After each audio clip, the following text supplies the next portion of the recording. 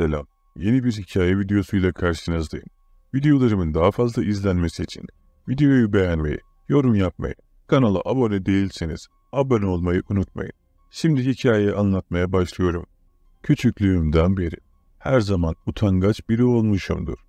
İnsanlarla diyalog kurmakta zorlanmanın yanında garip bir şekilde insanlardan da korkuyordum. Bunu nasıl açıklayacağımı bilmiyorum ama gerçekten insanlardan korkuyordum. Ailem bunu fark ettiklerinde çok şaşırmış ve doktor doktor gezmişler. İçine kapanık bir çocuk olduğumu, büyüdükçe bu durumun geçeceğini söylemişler. Aslında haklılardı. Gerçekten de büyüdükçe insanlardan korkmayı bir kenara bıraktım. Ama onlardan çekinme huyum asla geçmedi. Nedendir bilmiyorum ama insanlarla konuşurken özellikle de kadınlarla elim ayağım birbirine dolanıyordu. Erkek çocuğu olarak ilk başta bunun normal olduğunu, kadınlardan çekinmemin göz ardı edilebilecek bir şey olduğunu düşünsem de kız kuzenlerimle bile konuşamadığımı fark ettim. Çocukken bu bana o kadar da sorun yaşatmasa da okula başladıktan sonra artık bir sorun haline gelmeye başladı. Çünkü sınıfımdaki hiçbir kız öğrenciyle konuşamıyordum. Ama asıl sorun ergenliğe girmemle başladı. Sınıfımdaki bütün arkadaşlarımın kız arkadaşı olmaya başlamış, ilk aşklarını yaşamışlardı. Ben ise bırakın aşık olmayı, bir kızla konuşmayı bile doğru dürüst becerememiş. Lisede bu yüzden garip bir çocuk olduğumu söylemişler ve bu söyledikleri de üzerime yapışıp kalmıştı. Üniversiteye gitmek için ailemin yanından ayrıldığımda sonunda beklediğim fırsatın ayağıma geldiğini düşündüm. Belki yalnız kaldığımda kadınlarla da konuşmaya mecbur kalırım diye düşündüm.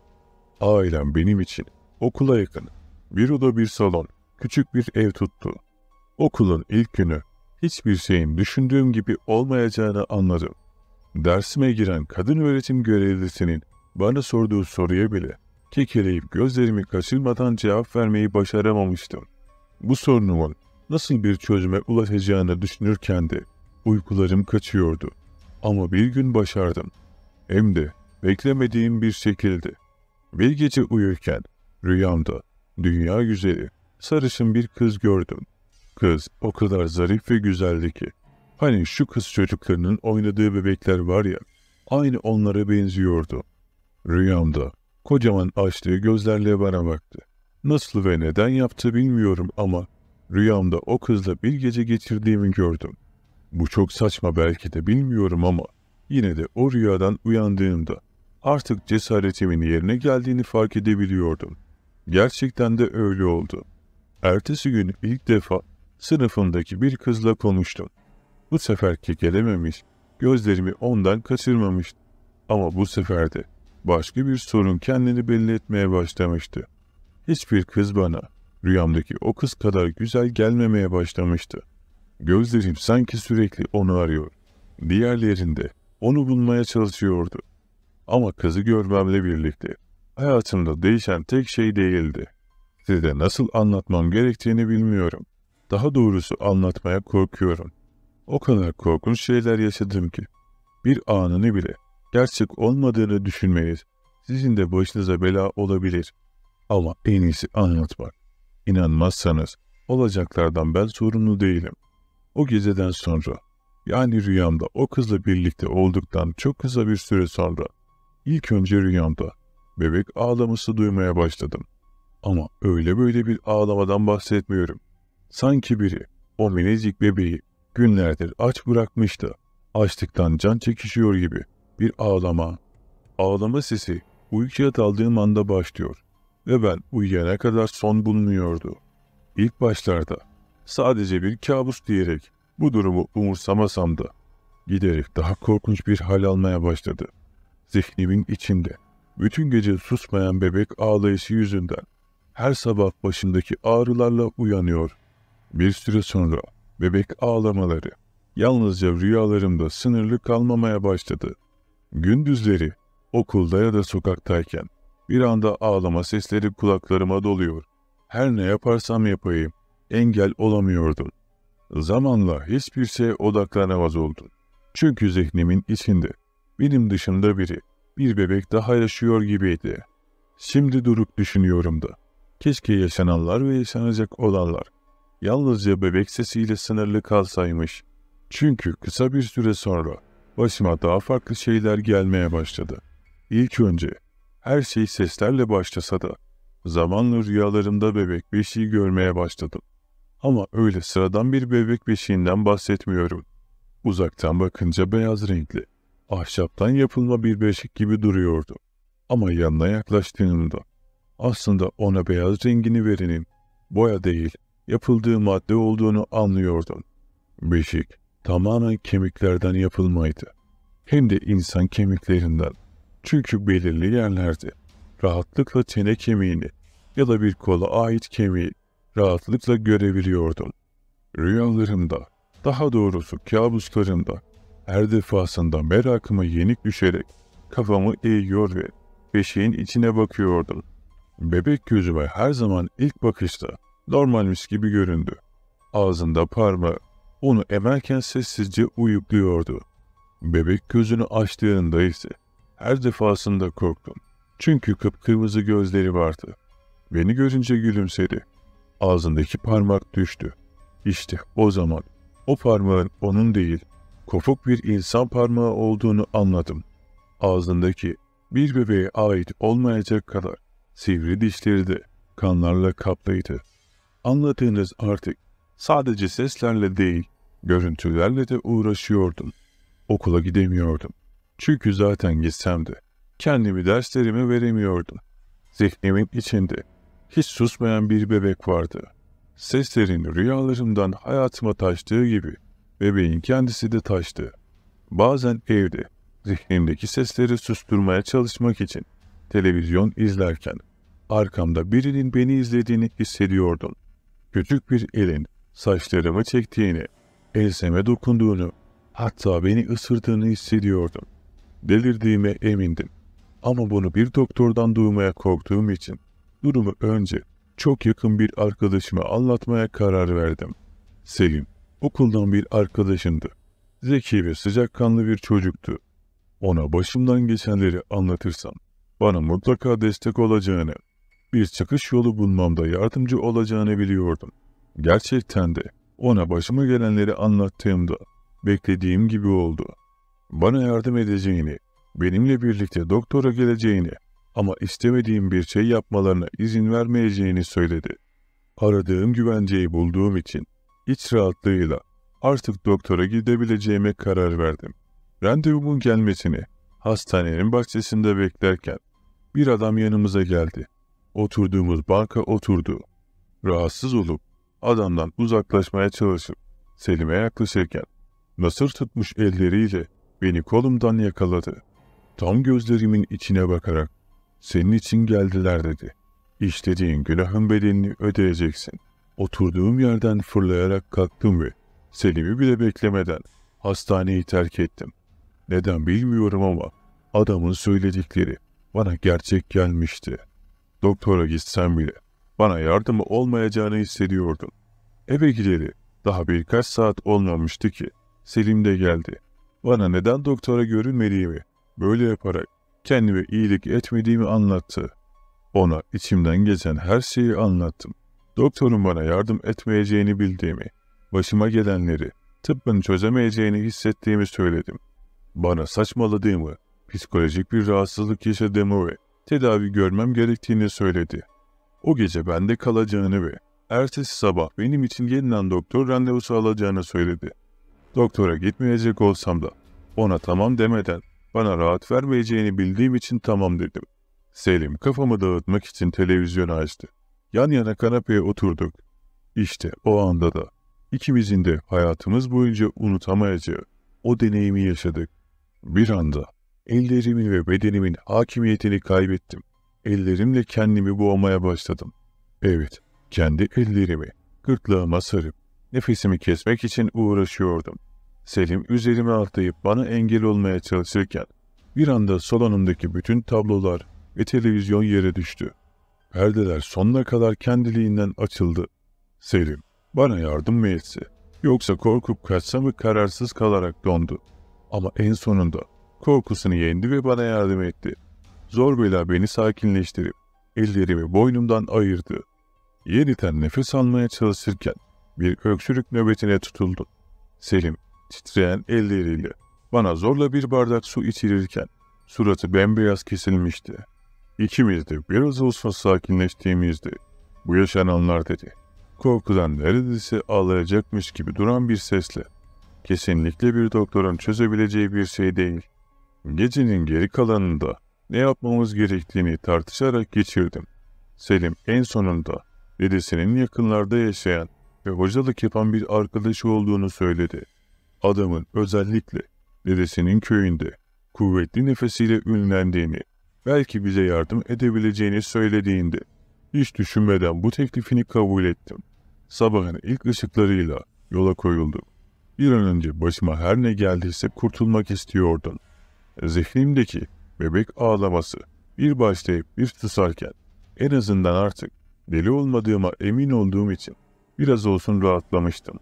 Hocanın evine gittiğimizde hiç vakit kaybetmeden beni okudu.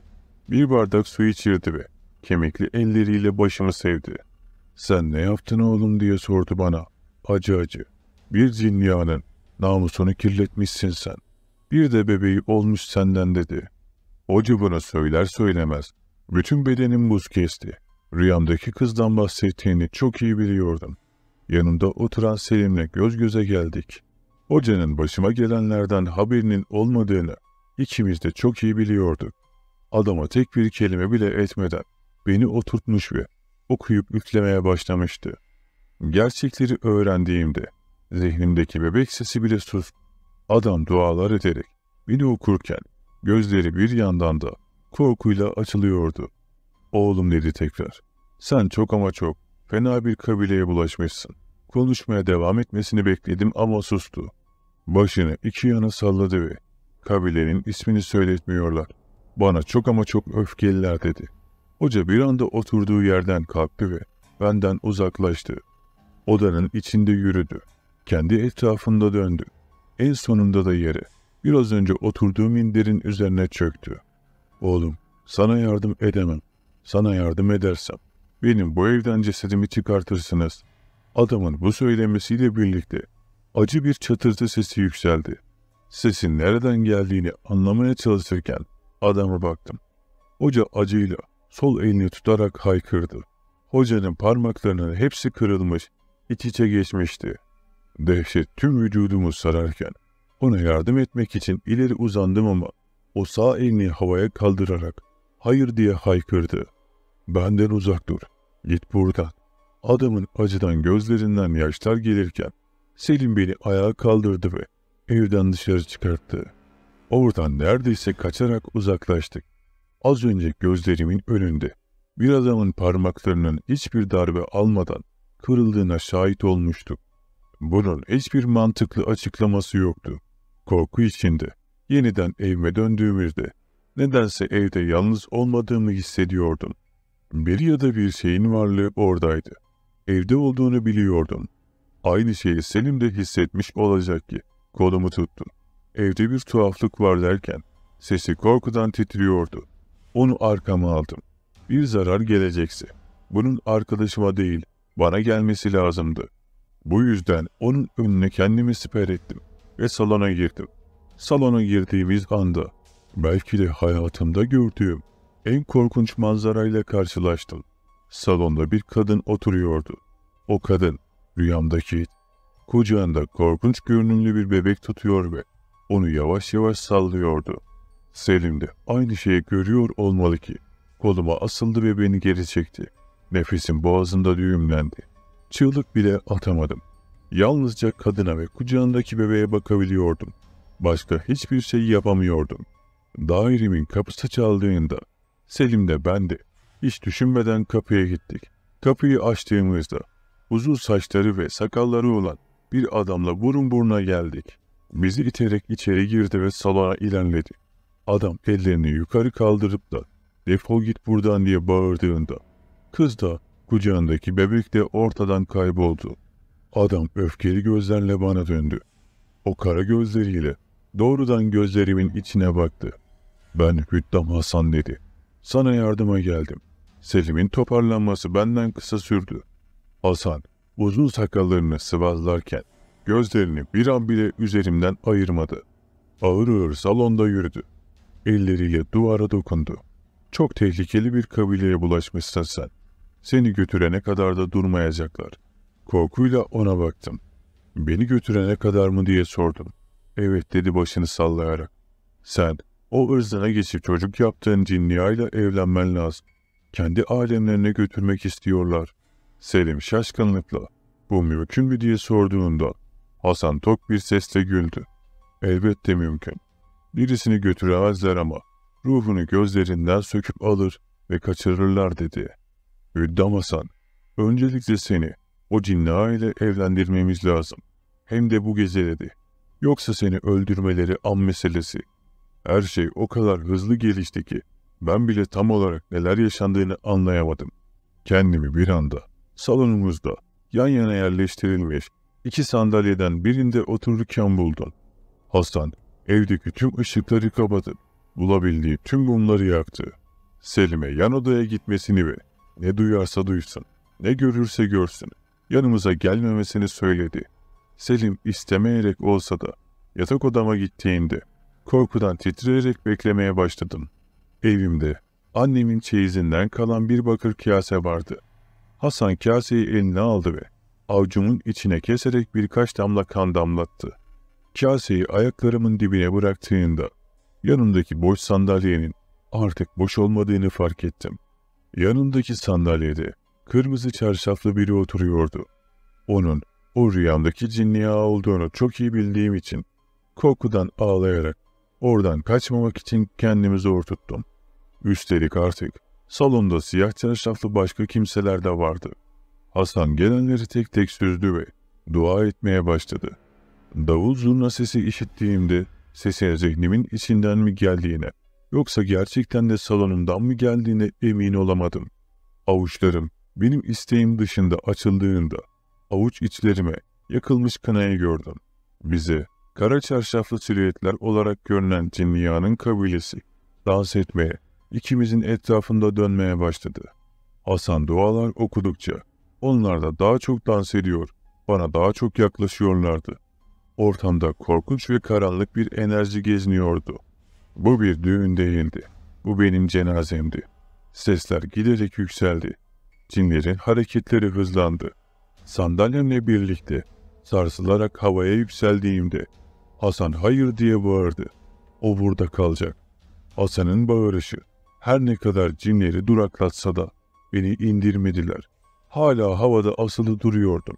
Bir anda gürültüyle sandalyeyle birlikte yere çakıldığımda bir sürü elin bedenimin üzerinde gezdiğini hissettim. Bana dokunuyor, kıyafetlerimi çekiştiriyorlardı. Onlardan ne kadar kaçmaya çalışsam da pençelerini bir kez tenime geçirmişlerdi bile. Yerde sürüklenmeye başladığımda Hasan araya girdi. Üzerimdeki elleri benden uzaklaştırdı. Onu götürmeyeceğinizi söylediniz.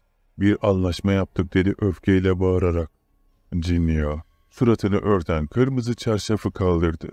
Rüyamda gördüğüm o güzel kızı gördüm. O bana istemediğim şeyler yaptı dedi. Cinniyana suratı bir anda tüm güzelliklerinden arındı. Parlak saçları, gri ve tiftik olmuş saçlara dönüştü. Suratı vuruştu. Dilgi bozuldu. Kamburu çıkıp öne doğru eğildiğinde uzun burnu neredeyse ağzına girecekti. O bu hayatta daha önce gördü. En çirkin şeylerden bile daha çirkindi. Cinniya Hasan'a karşı çıkınca diğer cinler bundan cesaret bulup yeniden üzerime atlamaya, beni ele geçirmeye çalıştılar. Hasan bu sefer daha güçlü bir şekilde onlara engel oldu ve dua etmeye başladı. Tüm kabile sanki kızgın aleve atılmışlar gibi kaçarken Cinniya yine de beni tutmaya çalıştı. Hasan onun o ellerini sıkıca tuttu. Bir duman yükseldi. Cinniya da kabilesindeki diğer cinler gibi çığlık atarak benden uzaklaştı. Tüm kabile ortadan kaybolurken Hasan telaşla ışığı açtı. Selim'i çağır diye bağırdığında dediğini yaptım. Biz Selim'le tüm evi baştan aşağı sirkeyle yıkarken Hasan ise salonda bulabildiği tüm kağıtlara yazılar yazmaya başladı. Bir yazıyı bitirip dörde katlıyor, ardından da bir yenisini yazıyor. Belki de yüzlerce sayfa yazdı. Her birini evin farklı köşelerine yerleştirdi. O bunu yaparken Cinniya ya da kabilesinin diğer üyeleri ortalarda gözükmeselerdi bebek ağlama sesleri yükseliyordu.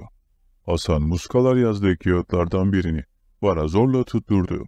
Boğulacakmışım gibi hissetsem de yine de boğazımdan geçip gidene kadar beni zorladı.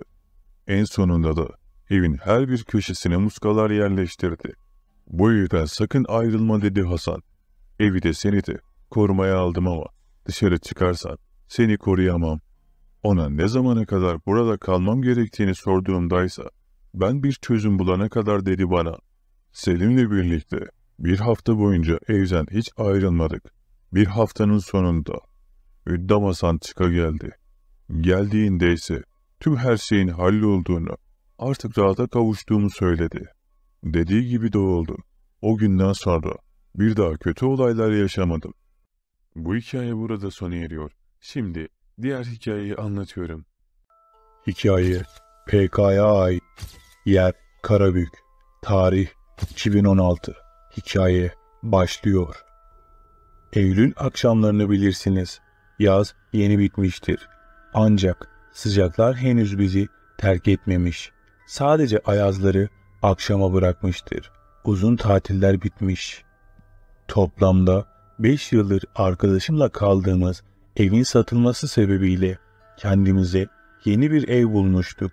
Mahalle olarak oldukça sakin, dingin bir yerdi. Sanki eski zaman dizilerinden kalma bir sahne gibi.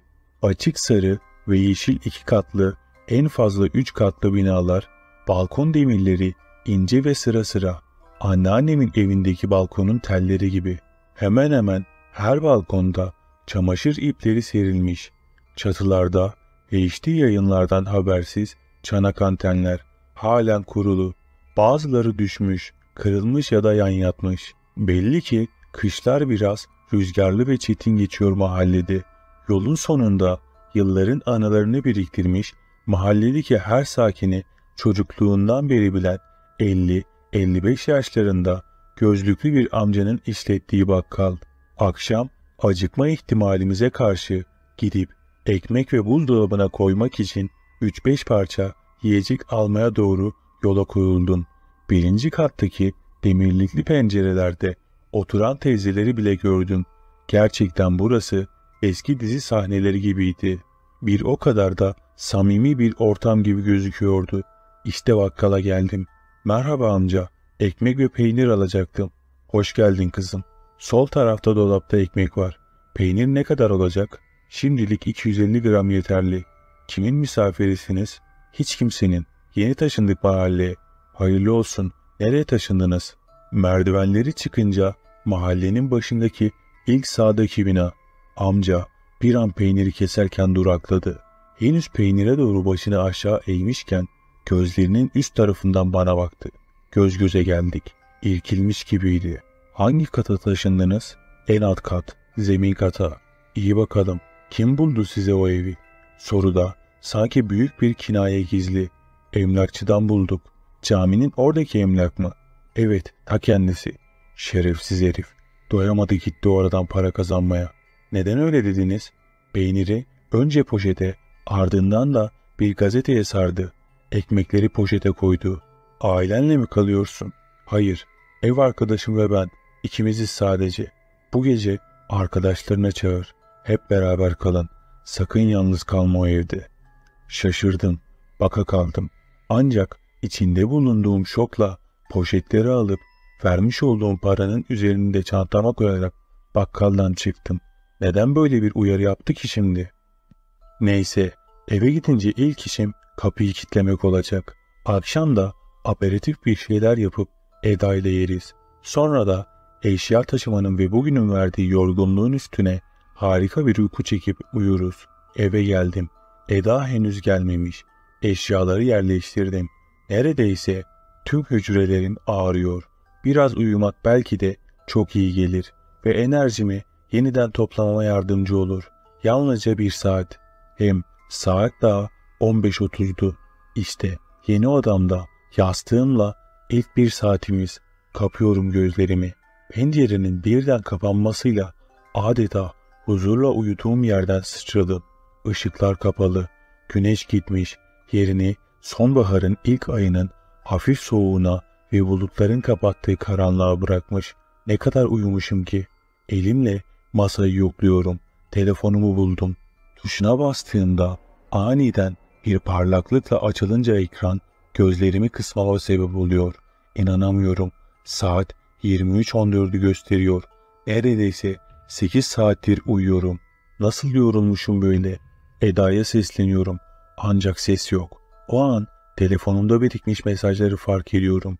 Ev arkadaşım bugün eşyalarının bir kısmını getirmek için teyzesinin evine gitmiş. Bana bugün için orada kalacağını haber veren bir mesaj göndermiş. Evin ilk gecesi yalnız olduğum anlamına gelir bu. Ne yapalım? Film izlerim ben de dedim. Yataktan doğruldum. Işığı açacağım ama açma kafama düğmesi nerede ki? Telefonun ekranını evin odasına doğru tutuyorum. Hafif ışığıyla baka baka düğmeyi bulup yaktım. Bir an karanlığa alışıp büyüyen göz bebeklerim ışığın etkisiyle birden küçülmeye başladığı için gözümü ovuşturmama neden oluyor. Önce tuvalete, ardından mutfağa geçiyorum. Evin salonu ve giriş kapısı sokağa bakan, diğer taraflar ise arka bahçe ve bahçedeki çok eski, kirli, her yeri küf tutmuş ufak bir süs havuzuna bakıyor. Mutfak biraz bakımsız. Duvarlarda boya yerine kireç mi var? Dolapları ev sahibi hiç yenilememiş gibi. Sanırım fiyatının çok uygun olmasının sebebi bakımsız olması. Mutfak tezgahı ve lavabonun hemen üzerinde baş hizasında anneannemin de evinde olan açık bir raf var. Üzerinde sarı renkli dolaplar. Çekip açtığında içlerinin gerçekten iyi bir temizliğe ihtiyacı olduğu aşikar. Bardaklar, tabaklar halen kolilerde. Bardak kolisini alıp yerleştirmek için tezgaha çıkıyorum. O esnada yattığım odada kalan telefonum aklıma geliyor.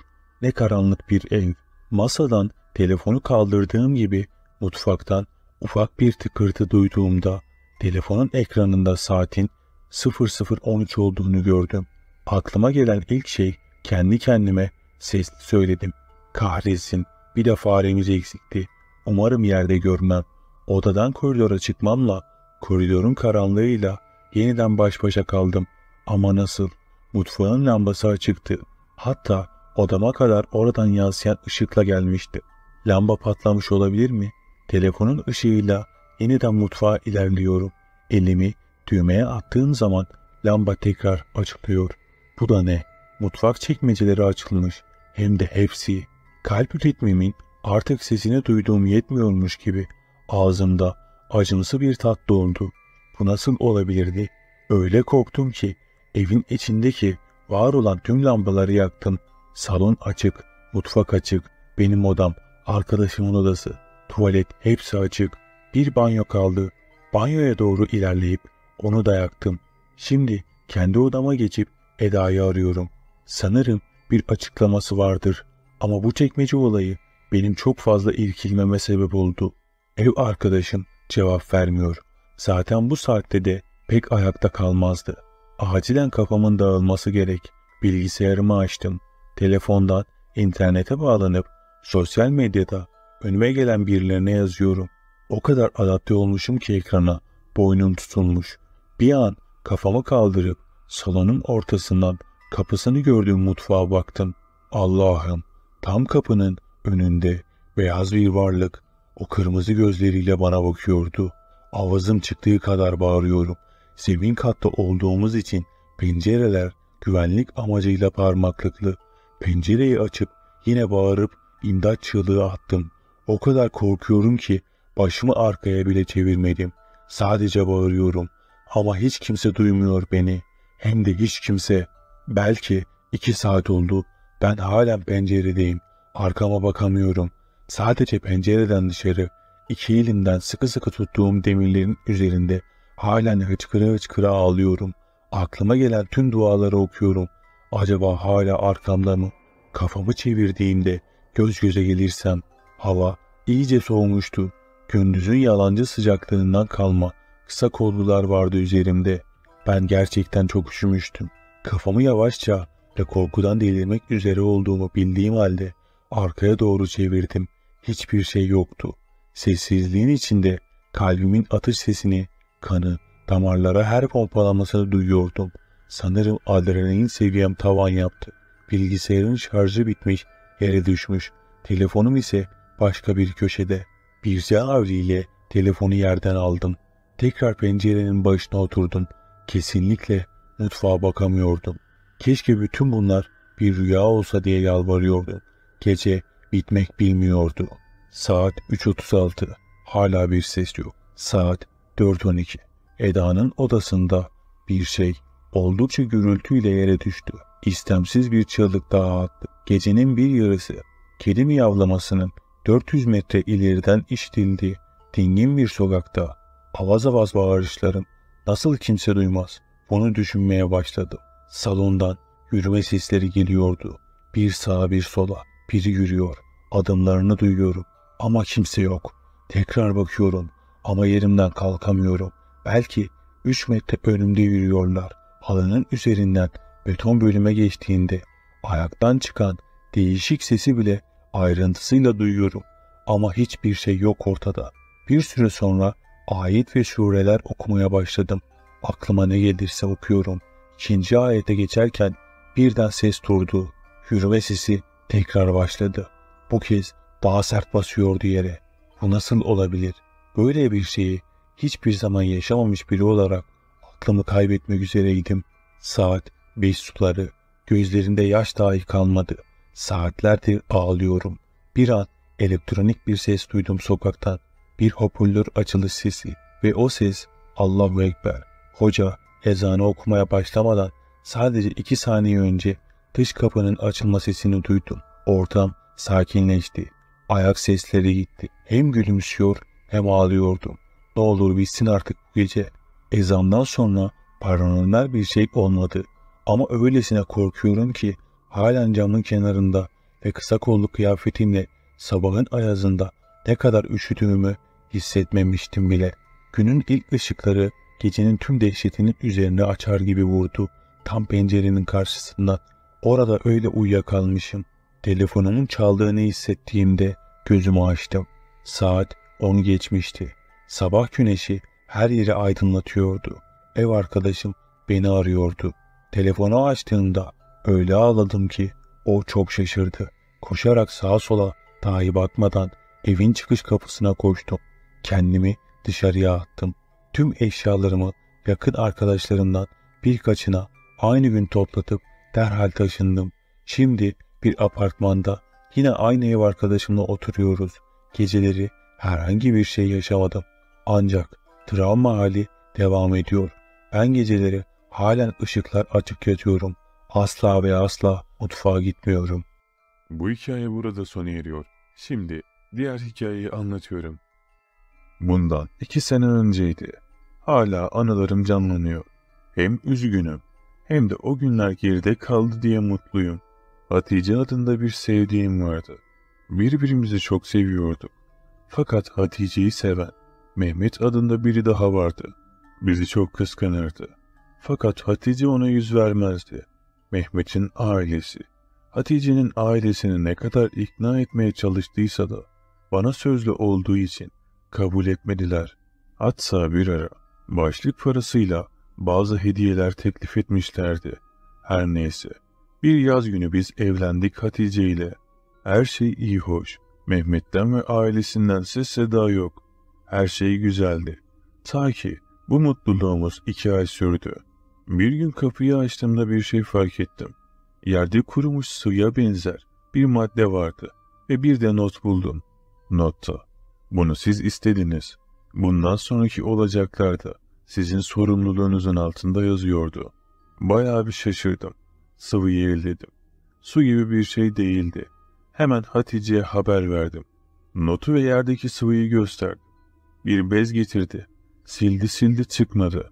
Neyse, acele gitmem de lazım dedim ve çıktım evden. Birkaç gün öyle geçti. O sıvı orada kaldı. Aldırış etmedik. Yine bir cumartesi. Bizim arka mahalleden çok sevdiğim, eskiden hocalık yapmış bir amcayı yemeğe davet ettim. Neyse, akşam oldu geldi. Yedik içtik falan. Gitme vakti geldi. Ayakkabısını giyiyordu ki, gözüm o kurumuş sıvıya ilişti. Amca, bu ne olabilir? Ne yaptıysak çıkaramadık dedim. Şöyle bir baktı. Üstüne dokundu ve bir anda şaşırdı. Evladım, bu domuz yağı dedi. Ben de ürktüm bir an. Pek hayra alamet değil dedi bu. Bayağı bir şok olduk. Fakat yine aldırış etmedik. Neyse, birkaç gün daha geçti. Fakat bu sefer farklı olaylar başladı. Hatice bana eskisinden daha soğuk davranıyordu. O kusursuz ilişkimiz bir ay sonra bozulmaya başladı. Akşamları yemek hazırlamıyor. Ne bana ilgi gösteriyor ne de yüzüme bakıyordu. Sürekli odasına kapanıp dışarıya çıkmıyordu. Ne zaman konuşalım desem tersliyordu beni. Beni rahat bırak. Yalnızlığa ihtiyacım var diyordu. Birkaç hafta daha böyle geçti ama bu sefer daha da kötü şeyler oluyordu. Evde acayip şeyler olmaya başlamıştı. Örneğin bir gece uyandığımda Hatice başucuma dikilmiş, sürekli gülüyordu. Fakat normal bir gülüş değil. Sonra hiçbir şey yokmuş gibi odasına dönüyordu. Fakat benim merak ettiğim, ben evde yokken ne yapıyordu? Hemen ucuzundan bir kamera aldım ve bir akşam kamerayı Hatice'nin odasına sakladım. Hatice son zamanlarda benim yanımda yatmıyordu. O odadan hiç dışarıya çıkmıyordu. Bütün gün aklım evdeydi. Acaba ne yapıyor ben yokken diye. Öyle böyle derken nihayet akşam olmuştu. Ben ise büyük bir heyecanla eve gittim. Eve vardığımda evin her yeri boştu. Oldukça şaşırmıştım. Hemen Hatice'nin odasına koştum. O uyuyordu. Yanına yaklaştım. Eve ne oldu? Her yer bomboş dedim. Gayet soğuk bir şekilde bilmiyorum. Beni yalnız bırak dedi. Hırsız desen, hırsız işine de benzemiyor. İçeri baktığımda ne perde kalmış ne de koltuk. Toparlamaya kalksan bir günü zor çıkarsın içinden. Bunları düşünürken kamera kayıtları aklıma geldi. Hemen aldım kamerayı, kaseti çıkarttım. Koydum kaseti izlemeye başladım. İlk evden çıktığımda her şey normaldi. Bir iki saat bir şey yoktu. Fakat bir zaman sonra Hatice odaya girdi. Yüzü ise bembeyazdı. Önce yaklaşık 10 saniye bir şey yoktu. Öylece durdu. Sonra olanlar oldu. Hatice'ye bir şey olmuştu. Çıldırdı sanki. Büyük bir hızla her yeri dağıtıyordu. Normal değildi bu. Bayağı bir dağıttıktan sonra sanki eliyle koymuş gibi kameranın karşısına geldi ve Arapça bir şeyler bağırdı. Fakat bir anda sandalyeden düştüm. O an aklımdan çıkmıyor. Neyse olayları anlamaya çalışırken kayıt hala devam ediyordu. Kayda baktığımda tüylerim ürperdi. Bilgisayara baktığımda sanırım kanla yazılan Arapça bir yazı yazılıyordu. Fakat yazan gözükmüyordu. Ama benim dikkatimi çeken odaya girdiğimde duvarda bir şey yoktu. Bilgisayardan kafamı kaldırdım ve duvara bakar bakmaz kanım dondu resmen. Kayıtlardaki yazı oradaydı. Hemen apar topar Hatice'nin yanına koştum. Uyuyordu. Ellemedim. Hemen evden çıktım. Geçen bize gelen amcanın yanına gittim. O, bu yazıdan ve olanlardan belki bir anlam çıkarır diye düşündüm. Hemen gittim evine. Kapıyı çaldım. Açtı kapıyı. Hayırdır evladım? Bu halin ne? Gel içeri dedi. İşte hayır değil. Bize gelmen lazım. Yardımına ihtiyacım var dedim. Bekle. Hemen geliyorum dedi. Ceketini aldı. Gittik eve. Ortalığı görünce şaşırdı. Kaç gündür acayip olaylar oluyor dedim. Sonra duvardaki yazıyı gösterdim. Bir an gözleri büyüdü. Duvarda Arapça yazan şeyin anlamı, o artık bizim gibi bir şey yazıyormuş. Amca, benim köyümde tanıdık bir hoca var, ona gidin dedi. Hatice'yi almak için odasına yöneldim. Uyuyordu. Uyandırmayı denedim. Git başından diye bağırıyor. Nedense terliyor fakat vücudu soğuktu. Yüzü bembeyazdı. Kucakladım. Hemen arabaya yatırdım. Amcaya evine bırakayım giderken dedim. Siz bir an önce yola çıkın. Gittiğinizde kime sorarsanız gösterirler dedi. Hocaya benim ismimi verdi. Hemen yola koyulduk. Akşamın ayazıydı. Yol uzundu. Zifiri karanlık çökmüştü. Dikiz aynasından baktığımda Hatice gayet sakin bir şekilde uyuyordu. Yollar çok ıssızlaşmıştı. Yavaştan ben de korkmaya başlamıştım. Hem üzülüyordum hem de korkuyordum. Fakat bir şey aklıma geldi. Bunu kim yapabilirdi derken bir anda Mehmet aklıma geldi. Acaba onların bu olayla bir ilgisi olabilir miydi? Yolda bayağı korkmaya başladım. Hemen annemi aradım. Hem hal hatır sorayım hem de Mehmet'i soracaktım. Annem telefonu açtı. Anneme olaydan bahsetmedim. Mehmet'i ve ailesini sordum. Annem de uzun süredir görmedim. Sanırım taşınmışlar dedi. Anne, sen de onun annesinin numarası olacaktı. Verebilir misin dedim. Biraz bekle dedi. Annemin numarayı bulmasını beklerken dikiz aynasından baktığımda tüylerim ürperdi.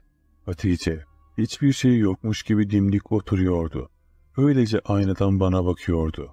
Yüzü bembeyaz, gözleri kıpkırmızıydı.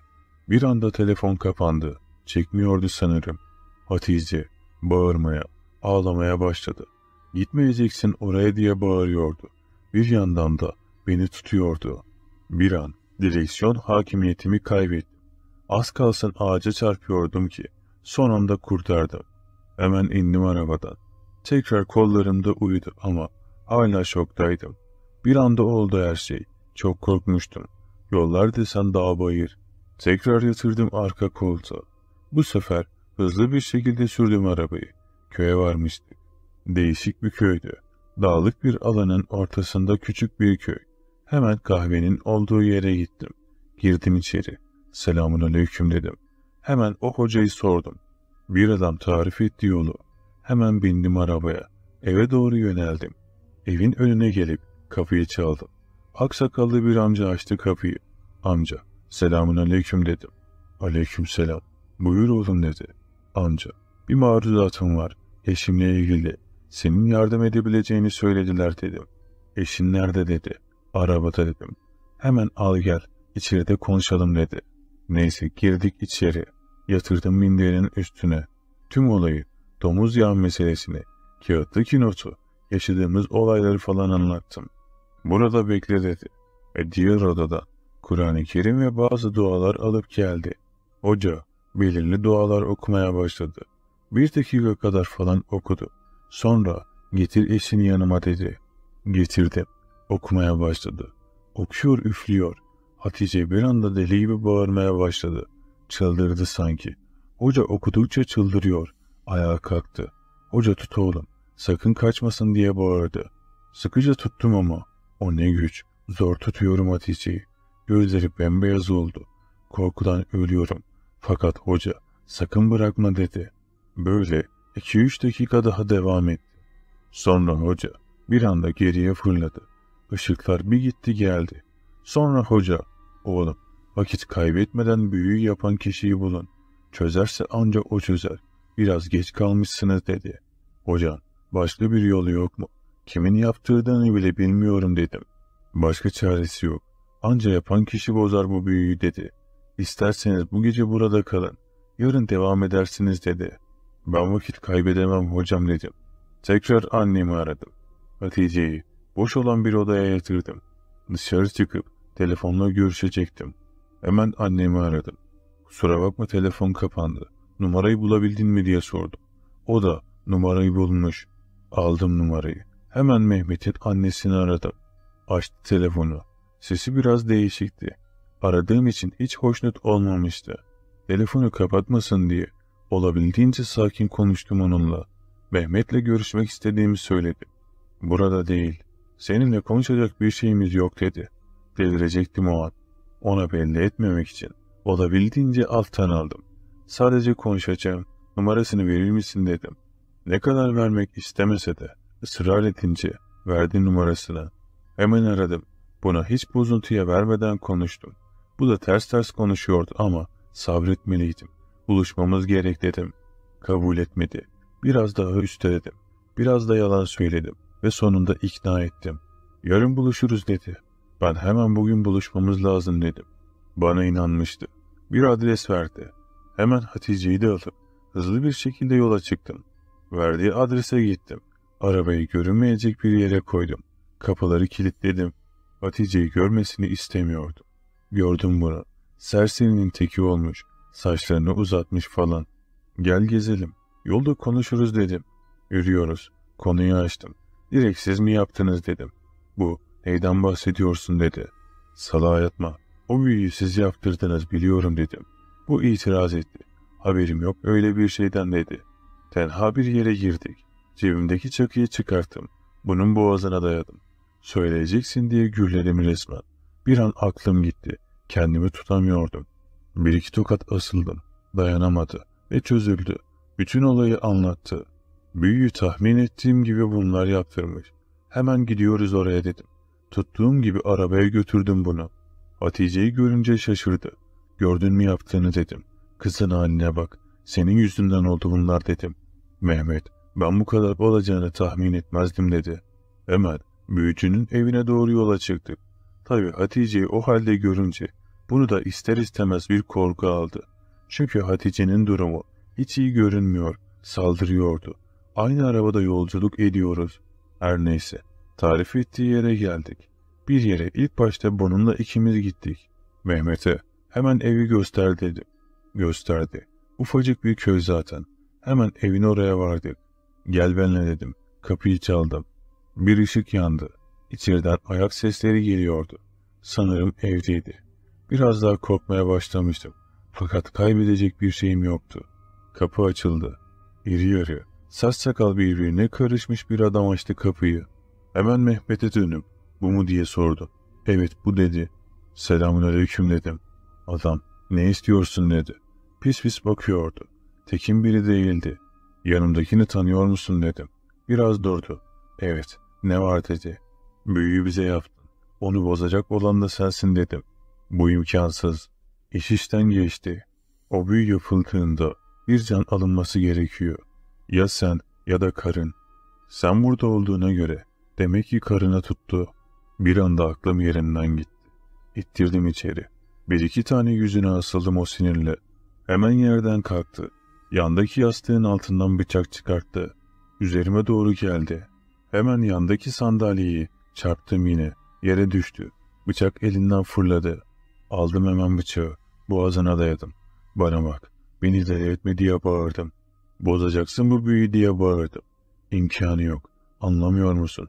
Eşin artık ölüyor. O artık onların dedi. Bıçağı bıraktım. Ellerimle adamın boğazını sıkmaya başladım. Ne yapıp ezip bu büyüyü bozacaksın diye bağırıyordum. Adam can havliyle dur der gibi işaret yapmaya çalışıyordu. Tamam, deneyeceğim. Bunun sonucu ölümle bitebilir dedi. Ne olursa olsun deneyeceksin. Karım ölürse siz de ölürsünüz dedim. Baktım Mehmet'e. Kapıdan çıkmaya çalışıyor. Hemen tuttum onu da. Seni de gebertirim. Bütün bunlar senin yüzünden oldu. Dedim. Büyücü, git hemen karını getir dedi. Aldım geldim. Bir odaya geçtik. Yatırdım yatağa. Büyücü bir şeyler hazırladı. Daha sonra bir şeyler okumaya başladı. Bir yandan da bir karışım hazırladı. Önce bundan içir dedi. Zar zor uyandırdım. İçirdim Hatice'ye. Sonra gazel şeklinde sanki Arapça bir şeyler okumaya başladı. Büyücü okurken Hatice'ye bir hareketlilik geldi. Yine çıldırmaya başladı. Sanki bir anda etraf değişti. Korkudan ölüyordum. Mumlar yanıp sönmeye başladı. Hatice ayağa kalktı. Gözleri değişti. Mehmet korkudan duvarın dibine sinmiş. Kafasını dizlerinin arasına almış. Bakamıyordu bile. Hoca gözleri kapalı bir şekilde okumaya devam ediyordu. Her üfleyişinde Hatice daha da çıldırıyordu. Bağırmaya başladı. Hatice bir anda tavana doğru çıktı. Sanki biri alıp yere çarpıyordu onu. Ben tutmaya çalıştım. Bir anda geriye fırladım istemsizce ve bir anda o hengame sona erdi. Sessizlik bürüdü ortalığı. Hatice'nin ağzından kan geliyordu. O karmaşada hoca diğer odadan eline tüfeği aldı. Hemen gidin buradan. Defolun gidin. Başıma iş açacaksınız diye bağırdı. Ben hemen Hatice'yi kucakladığım gibi arabaya yatırdım. Mehmet sanırım bayılmıştı. Onu orada bıraktım. Ben ise tam gaz hastanenin yolunu tuttum. Artık olumlu düşünemiyordum. Hastaneye vardım. Hemen acil kısmından içeriye girdim. Hatice can çekişiyordu. Doktorlar hemen ameliyata aldılar onu. Aradan bir saat geçti. Çaresizce bekliyordum. Ve içeriden doktor geldi. Eşinize ne oldu? Çok ağır darbeler almış. Bir yerden falan mı düştü? İç organları zarar görmüş dedi. Ne olduğunu anlatsam da bana inanmayacaklardı. Evet, evdeyken bir yerden düştü diyebildim. Kurtarmaları için doktorlara yalvardım. Ellerinden geleni yapacaklarını söylediler. O gece polise de ifade verdim. Hastanede beklerken olanları düşünüyordum. Aklımda iki seçenek vardı. Eğer Hatice ölürse, hocayı da Mehmet'i de öldürecektim. Eğer Hatice yaşarsa ikisine de dokunmayacaktım. Uzun süren ameliyat sonrası nihayet doktor dışarıya çıktı. Doktorun ağzından çıkacaklar. Hayatımın geriye kalanını belirleyecekti. Sevdiğim kadını kaybetmek istemiyordum. Doktorun ağzından çıkacak iki kelimeye kilitlenmiştim. Doktorun konuşmasını beklerken sanki her şey yavaşlamış, tüm yaşananları tekrar yaşıyormuş gibi gözümün önünden geçiyordu. Doktor, iç kanamayı durdurduğunu, iyi bir ameliyat geçirdiğini söyledi. Fakat sabaha kadar her şey hazırlıklı olmamı da istedi. Yaşadıklarımın ağırlığıyla ameliyathanenin bekleme salonunda koltuğa yığıldım kaldım. O kadar yorgunluğa rağmen gözüme bir damla uyku girmiyordu. Saatler geçmiş, sabah olmuştu. İstediğim haber geldi ve eşim kurtulmuştu. Doktor, bundan sonra beklenmedik bir gelişme olmazsa durumunun iyiye gittiğini söyledi. Aileme ve Hatice'nin ailesine iyi haberi verdim. Onlar da geldiler. Ertesi gün yoğun bakıma yanına beni alabileceklerini söylediler. Girdiğimde güçlükle gözlerini açıp seni seviyorum, iyi ki varsın dedi. Aylardır yüzüme bakmayan, beni tersleyen kadın gitmiş. Gözlerime aşkla bakan kadın geri gelmişti. Ellerinden tutup yere çöktüm ve ağlamaya başladım. Neyse ki hastaneden sağ salim çıktı. Bizim bölgenin yerel kanalı olan bir televizyon kanalında haberleri izlerken bir haber dikkatimi çekti. Falanca köyde büyücülük yaptığı söylenen kişi evinde Mehmet isimli bir şahısla birlikte ölü olarak bulundu. Ölen iki kişinin ölüm nedeninin ani kalp krizi olduğu belirlendi. Bu haber orada yaşadıklarımın ne kadar ağır şeyler olduğunu bir kez daha yüzüme çarptı. Yine de haberin doğru olup olmadığını öğrenmek için annemi aradım. Olanlar gerçekti. Mehmet o gece hocayla beraber ölmüştü. Unutmayın, düşmanlar tanımadığınız değil, tanıdığınız insanların içinden çıkar. Yaşamayana sabaha kadar anlatsam da yalan gelir bunlar. Yaşayana iki kelimesi yeter anlamasına. Bu hikaye burada sona eriyor. Şimdi diğer hikayeyi anlatıyorum. Merhaba. Anlatacağım olay 2015 senesinde yaşandı. O zamanlar 3 yıllık evliliğin bitme noktasına gelmişti. Ailemin yanına geldim. Evimiz iki mezarlığın arasında. Binalar benimle yaşadı. 1994 yapımı göçmenler için yapılmış bu binalar. Neyse konuya gireyim. Ailemin yanına geleli iki ay olmuştu. Psikolojim yaşadığım evlilik yüzünden bozulmuştu. Ailem farkındaydı. Annem bir gün yanıma gelerek istersen bir işe gir, çalış, kafan dağılır. Yine arkadaşların olur, yeni çevre, yeni insanlar iyi gelir dedi. Aklıma yatmıştı. Tamam dedim. Bir hafta sonra organize sanayide, fabrikada vardiyalı bir iş buldum. Maaşı güzel, saatleri de uygundu. İşe başladım. Cana yakın, konuşkan bir insanım. Hemen çevre edinmiştim. İlk bir ay gayet güzel gitti. Çok verimli çalışıyordum. Gece vardiyasına geçtiğim ilk gün lavaboya gitmek istedim. Lavabo da fabrikanın en tenha yerinde. ikinci kattaydı. Geceleri oralarda kimse olmazdı. Tek gitmek istemedim ama kimseye de gel diyemedim. Lavaboya gittim. Arkamdan biri daha geldi. Daha doğrusu ben öyle sanıyormuşum. Gece vardiyası olduğu için sadece yurt dışı bölümü çalışıyor. Yani 8-10 kişi anca oluyordu. Ben de çalışma arkadaşım Ayşegül sandım. İki kız çalışıyorduk. Diğerleri robot bölümünde çalışan Ahmet ve Muhammed abiydi. Dört kişi sadece üretimdeyiz. Diğerleri ürünleri alır gider. İki saat görünmezler. Neyse, lavabodan çıktım. Musluk hala açık. Ama kimse yok. Ben de ellerimi yıkayıp aşağı indim. Ayşegül ablanın yanına giderek abla suyu niye açık bıraktın? Öyle bir açmışsın ki su taşıyordu dedim. O da şaşkın şaşkın ben su falan açmadım. Lavaboya bile çıkmadım dedi. O zaman erkeklerden biri mi girdi kızlar tuvaletine dedim. Hem kızdım hem korktum. Daha doğru düzgün kimseyi tanımıyordum. Sapık mı var diye düşündük. Vardiya şefi olan Orhan abiye giderek ben lavabodayken biri girdi içeri. Musluğu açık bırakıp gitmiş dedim. Ayşe güldür dedi. Hayır o değil sordum ona. Kamera kayıtlarına bakın bir erkek olabilir dedim. Lavabonun girişinde gündüz işten kaykırıp lavaboya çıkıp oturan çok oluyordu. Onun için girişe kamera takılmıştı. Orhan abi tamam bakarız dedi. Baktı. Kimse yok. Kapı açılıyor ama kimse girmiyor içeri. Orhan abi de çok şaşırdı. Rüzgardan olmuştur. Deponun kapıları açık. Rüzgar açmıştır dedi. Peki ya musluğu kim açtı dedim. Bir şey diyemedi. Olayı orada kapattık.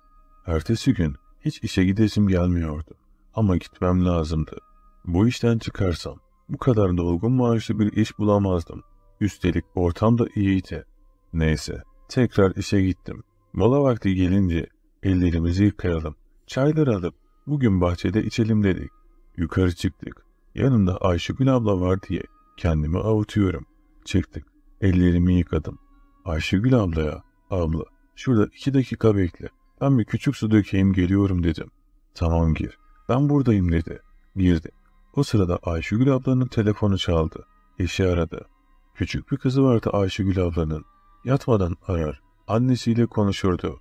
Ayşegül abla, eşim arıyor. Kapının önündeyim. Konuşayım korkma. Ben buradayım dedi. Tamam dedim. Lavaboda işimi hallettikten sonra çıkmaya çalıştım. Kapı açılmıyor. İçeride kaldım. Sesleniyorum ama duyan yok. Ayşegül ablanın sesi geliyor ama beni duymuyor. O sıra lavabonun giriş kapısı açıldı. Şükür yani abla. Bir saattir bağırıyorum neredeyse. Niye gelmiyorsun dedim. Ses soluk yok. Biri bulunduğum yerin kapısına doğru yaklaştı. Ayak seslerini duyuyordum. Gelen kişi yaklaştıkça çok pis koku yayılıyor etrafa. Koku fark edilmeyecek gibi değil. Dua edemiyorum labodayım diye. Çöktüm yere. Biri beni kurtarsın diye bekliyorum. Çökmemle kapının altındaki ayakları gördüm. Tırnağı uzun. Öyle bir uzun ki etine batmış. Bu görüntüyü gördükten sonra kendimi kaybettim. Kapıyı yumruklamaya, çığlık atıp yardım istemeye başladım. O sıra şef geldi. Kapıyı açtı. Bembeyaz olmuşum, ölü gibiyim. Korkudan titriyorum. Beni odasına götürüp su verdi. Sakinleştirmeye çalışıyor. İyi misin? Ne oldu? Biri bir şey mi yapmaya çalıştı diyor. Hiçbir şey diyemedim. Gel dışarı çıkalım. Temiz hava al dedi. Çıktık. Ayşegül abla nerede? Beni kapının önünde bekliyordu. Neden duymadı sesimi dedim. Bir yandan da ağlıyorum. O gitti. Çocuğu rahatsızlanmış dedi. Ben olayın şokuyla hep beni bulur zaten dedim. Orhan abi bana ne oldu orada dedi. Anlatsam deliler. Herkesin diline düşerim. Dalga geçerler benimle diye. Bir şey olmadı. Kapalı yer korkum var benim dedim. Kapı da açılmayınca iyice panikledim. O yüzden böyle oldu dedim. Sen de evine git istersen. Zaten tek başına iş yapamazsın dedi. Yok abi. Yapabildiğim kadarını yaparım dedim. Tamam dedi. Eve gitsem korkudan yine uyuyamayacaktım. En azından çalışırım. Kafam dağılır diye gitmedim. Sabah sekizde vardiyayı teslim edip eve gittim. Duş aldım. Olanları düşünüyordum. Hiçbir açıklama bulamıyordum. Akşam yine iş vardı. Bu düşüncelerle hep uyumuşum. Uyandığımda saat beş olmuştu. İşe gitmeme iki saat vardı. Annem sofrayı kurmuş, bana sesleniyor. Kalktım. Elimi yüzümü yıkadım. Yemekten sonra anneme olanları anlattım. Etil alkolle çalışıyoruz. Beyaz eşyaların yüzeyini onunla temizliyoruz. Ağır bir kokusu var. Annem, ondan olmuştur. Hayal görmüşsün. İstersen çık işten. Ben seni düzel, kafanı topla diye gönderdim. Delir diye değil dedi. Ben de, bir bakayım, bir daha olursa çıkarım dedim. Saat geldi. Servise bindim gittim. Ayşegül abla yanıma geldi. Ne oldu dün gece? Bir şeyler duydum dedi. Ne duydun ki diye sordum. Fenalaşmışsın lavaboda dedi. Abartılacak bir şey yok. Kapı açılmadı. Ben de korktum biraz dedim. Sen niye giderken seslenmedin? Haber vermedin. Sana güveniyordum dedim. O da seslendim. Ama sen git, sıkıntı yok dedim bana dedi. Bunu duyunca iyice kafam karıştı. Neyse kapattık konuyu. Mola saati dışarı çıktık. Arkadaşlar düğünü unutturmak için şakalar yapıyor. Başlarından geçen komik olayları anlatıyorlar. Bana da iyi geliyordu. Moladan sonra tekrar gittik çalışıyoruz. Bu sefer tüm pencereleri açtım. Alkol kokusu çıksın, yine aynı şeyler olmasın diye. O gün hiçbir şey yaşamadım. Rahatlamıştım. Vardiyayı teslim ettim. Akşam iş yoktu. Dışarıda kahvaltı edeyim, gezeyim, geç uyusam bir şey olmaz diyerek eve gitmedim. Kahvaltı yaptım. Biraz da alışveriş yaptıktan sonra eve geldim. Saat öğlen 12'de annem evde yoktu. Kardeşim okula gitmişti. Hemen duş aldım. Kendime bir kahve yaptım. Müzik dinliyorum. O sıra kapı çaldı. Dürbün gözünden baktım. Yaşlı bir amca. Açtım kapıyı. Buyur amca dedim. Evladım, açım. Allah rızası için varsa yiyecek bir şeyler ver dedi. Yetmişli yaşlarda, kısa boylu, uzun beyaz sakallı bir amca. İnsanın yüzüne baktıkça içi huzur doluyor. Öyle biri yani. Buyur gel, bir şeyler hazırlayayım. Sen yemeğini yerken ben sana erzak çantası yaparım. Eve götürürsün dedim. Amca biraz çekindi. Israr ettim. Amca terlik var mı? Evinizi kirletmeyeyim dedi. Olur mu amca ne kirletmesi? Ben yine de sana terlik vereyim dedim. Hemen çabucak yemek hazırladım. Çorba, pilav, patates, Allah ne verdiyse. Sen yemeğini ye amca. Ben senin çantayı hazırlayayım dedim. Mutfağa geçip evdeki yiyeceklerden fazla fazla koydum. Daha sonra amcanın yanına girdim. Amca karnını doyurmuş. Evladım müsaaden olursa abdest alıp öğle namazını eda edeyim dedi. Olur amca ben sana temiz havlu vereyim dedim. Amca abdest aldı. Namaz kılıyor. Namazını bitirdi. Ben artık gideyim. Allah senden razı olsun dedi. Senden de amca dedim. Kapıdan çıkarken yüzüme baktı. Buyur amca, bir şey mi diyeceksin dedim. Allah yardımcın olsun dedi. Amin amca. Ama neden öyle dedin dedim. Bu evde seninle beraber yaşayan bir şey var. Seni korkutuyor dedi. İrkildim. Nasıl yani amca? Ne demek istiyorsun? Açık konuş dedim. Yaşadıkların hiçbir şey. Bunlar başlangıç. Ben onu gördüm. Sana zarar verecek ama ben sana yardım edeceğim dedi. İyice korktum. Korkma. O kıldığım namazda senin için dua ettim. Bir şey olmaz Allah'ın izniyle dedi. O gitti. Ben kapıda şaşkın, korkmuş bir şekilde kaldım. Ne yapacağımı bilemedim. Annem iki saat sonra eve geldi. Şimdi söylesem böyle böyle oldu diye. Niye ev aldın diye kızar. Onun için bir şey diyemedim. Akşam oldu. Annem maşallah mutfakta bir şey bırakmamışsın. İştahın açıldı herhalde dedi. Yanaklarımı sıktı. Ben de bozuntuya vermedim. Evet anne acıktım dedim. Ben biraz uzansam. Yemek hazır olunca kaldırır mısın beni akşam dedim. Tamam dedi. Yatağa uzandım. Odamın kapısı bozuk. Kapanmıyor. Kilitlenmiyor yani. Genelde arkasına sehpayı koyarım. Kapı aralık kaldığında nedense hep korkutur beni. Fakat o gün kapıyı kapatmadım. Nasıl olsa biraz kestirip uyanacaktım. Yatağa yattığımda hemen uykuya dalmışım. Uyandım. Uyanmamın sebebi biri beni yataktan atmaya çalışıyordu. Ellerim yerde, ayaklarım yatakta. Bir tuhaf haldeydim. Yataktan düşmemek için direniyordum. Anneme bağırmaya çalıştım. Ama sesim çıkmadı. Kapıya baktım. Kapanmayan bozuk kapı kapanmıştı. Ben kapatmamıştım. Bundan emindim. Elim döndüğünce dua ettim. Birden o şey neyse gitti. Yorgan yastık yerde. Ben bitap şekilde koşarak içeri gittim. Bu sefer kapıya baktığımda açıktı. Koşarak annemin yanına gittim. Sana seslendim duymadın mı anne dedim. Yok kızım duymadım. Mutfaktaydım. O ara seslendin herhalde. Hayırdır ne oldu rengini atmış. Kan ter içindesin dedi. Kötü bir rüya gördüm dedim. İnanmadı. Hem iş yerinde hem evde normal değil bu kızım dedi. Eniştemi aradı. Eniştem Adıyaman menzile gitmişti. Bir sene önce orada bir hocayla tanışmış. Annem ona güvenerek eniştemi aradı. Eniştem ben konuşurum kendisiyle haber veririm dedi. Ertesi gün annem işi bırakmamı söyledi. Annemle birlikte gidip istifa dilekçemi verdim. Eve geldik. Eniştem aradı. Müsaitseniz akşam hoca gelecek. Bir bakacak dedi. Annem de buyursun gelsin müsaitiz dedi. Akşam ne olacağını çok merak ediyordum. Beklediğim an geldi. Hoca geldi. İçeri girdi. Besmele çekip selam verdi. Annem, hoş geldiniz. Aç mısınız? Uzun yoldan geldiniz dedi. Hoca, sağ olun. Yedim bir şeyler ama bir bardak suyunuzu alırım dedi. Annem tamam dedi. Mutfağa gidiyordu. Hoca, sen dur evladım. Hanım kızım getirsin dedi. Gittim. Su getirdim. Hoca bir şeyler okudu içine. Sonra bana uzattı. Bunu iç bakalım. Ama üç yudumda iç. İlk yudumun az, ikinci yudumun az, üçüncü yudumun çok iç dedi. Tamam dedim. Ayaktayken tam suyu içerken hoca dur dedi. Dur deyince hocaya baktım. Besmele çek ve oturup iç. Şeytan ortak olmasın dedi. Şaşırdım. Oturdum içtim suyu. Kalanını aldı. Abdest al. Eteğinle yemeninle kapan gel dedi. Dediklerini yaptım. Yanına oturdum. Konuşmaya başladı. Ben cinci hocalardan değilim. Ben farklıyım. İlmini bilirim. Karşılığında para almam. Sadece dua edin yeter dedi. Annem bana bakıyor. Ben anneme bakıyorum. Güvenelim diye yaptı herhalde bu konuşmayı. Annem de Allah razı olsun. İnşallah her neyse sıkıntısı çözülür dedi. Hoca bana döndü. Gözünü kapat.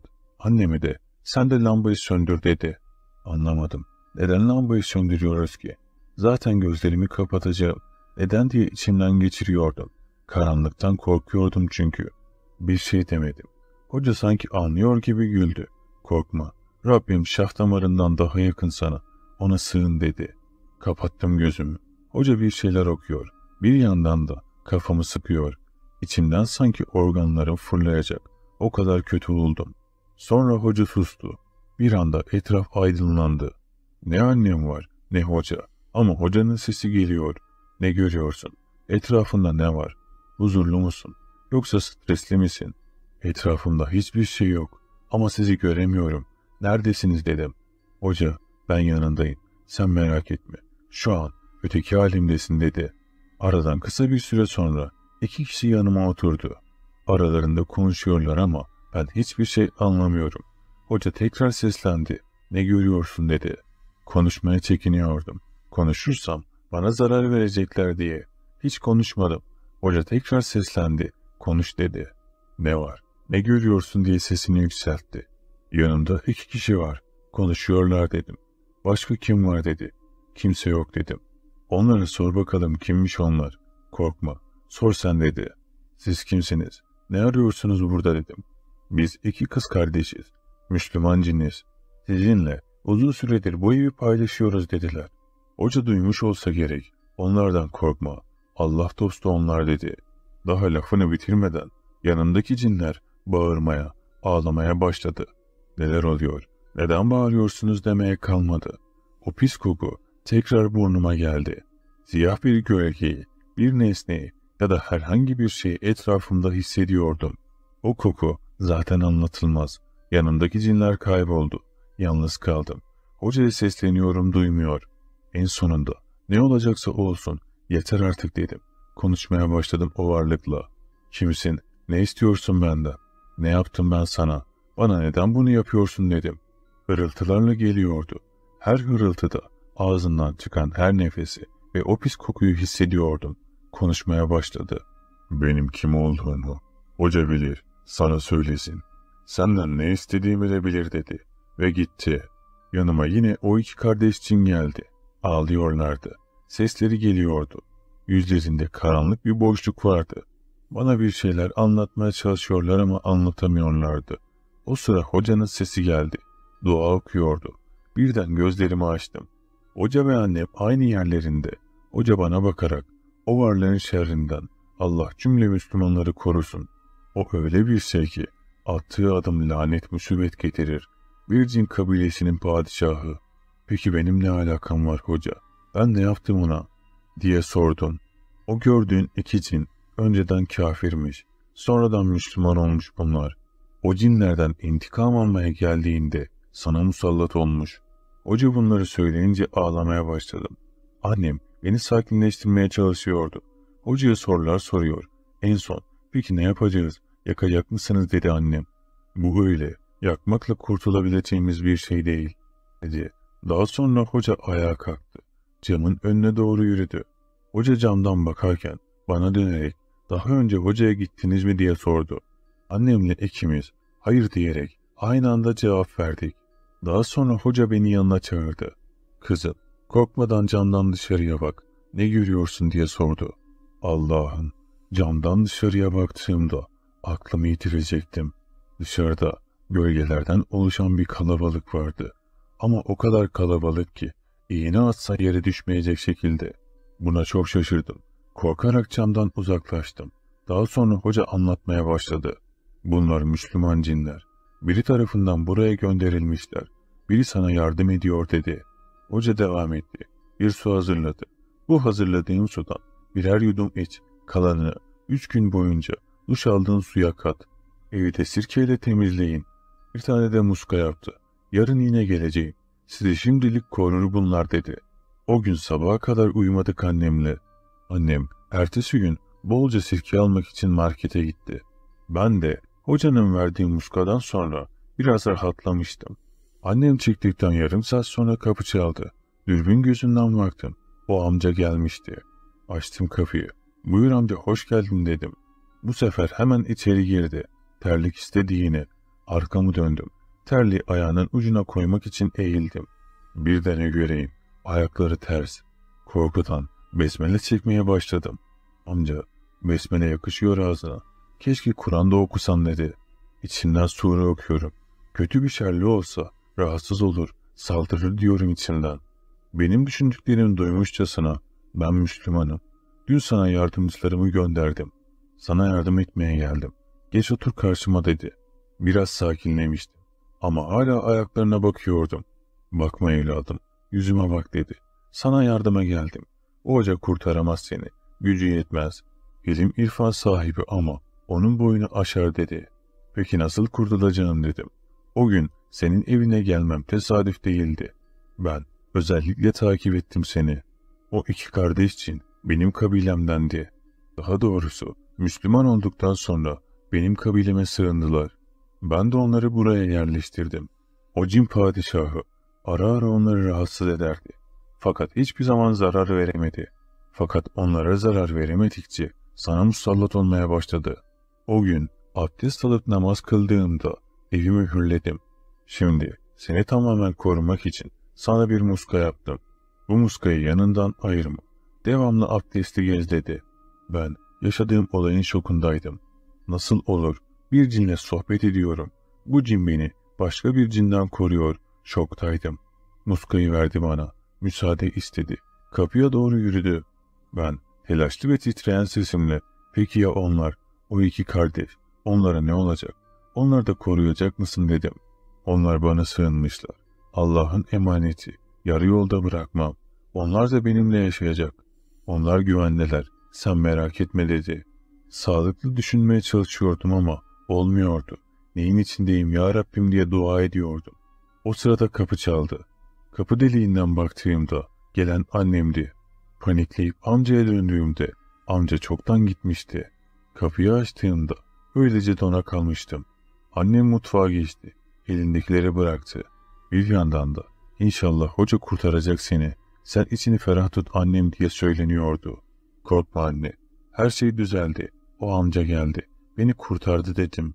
Annem bir an duraksadı. Nasıl yani dedi.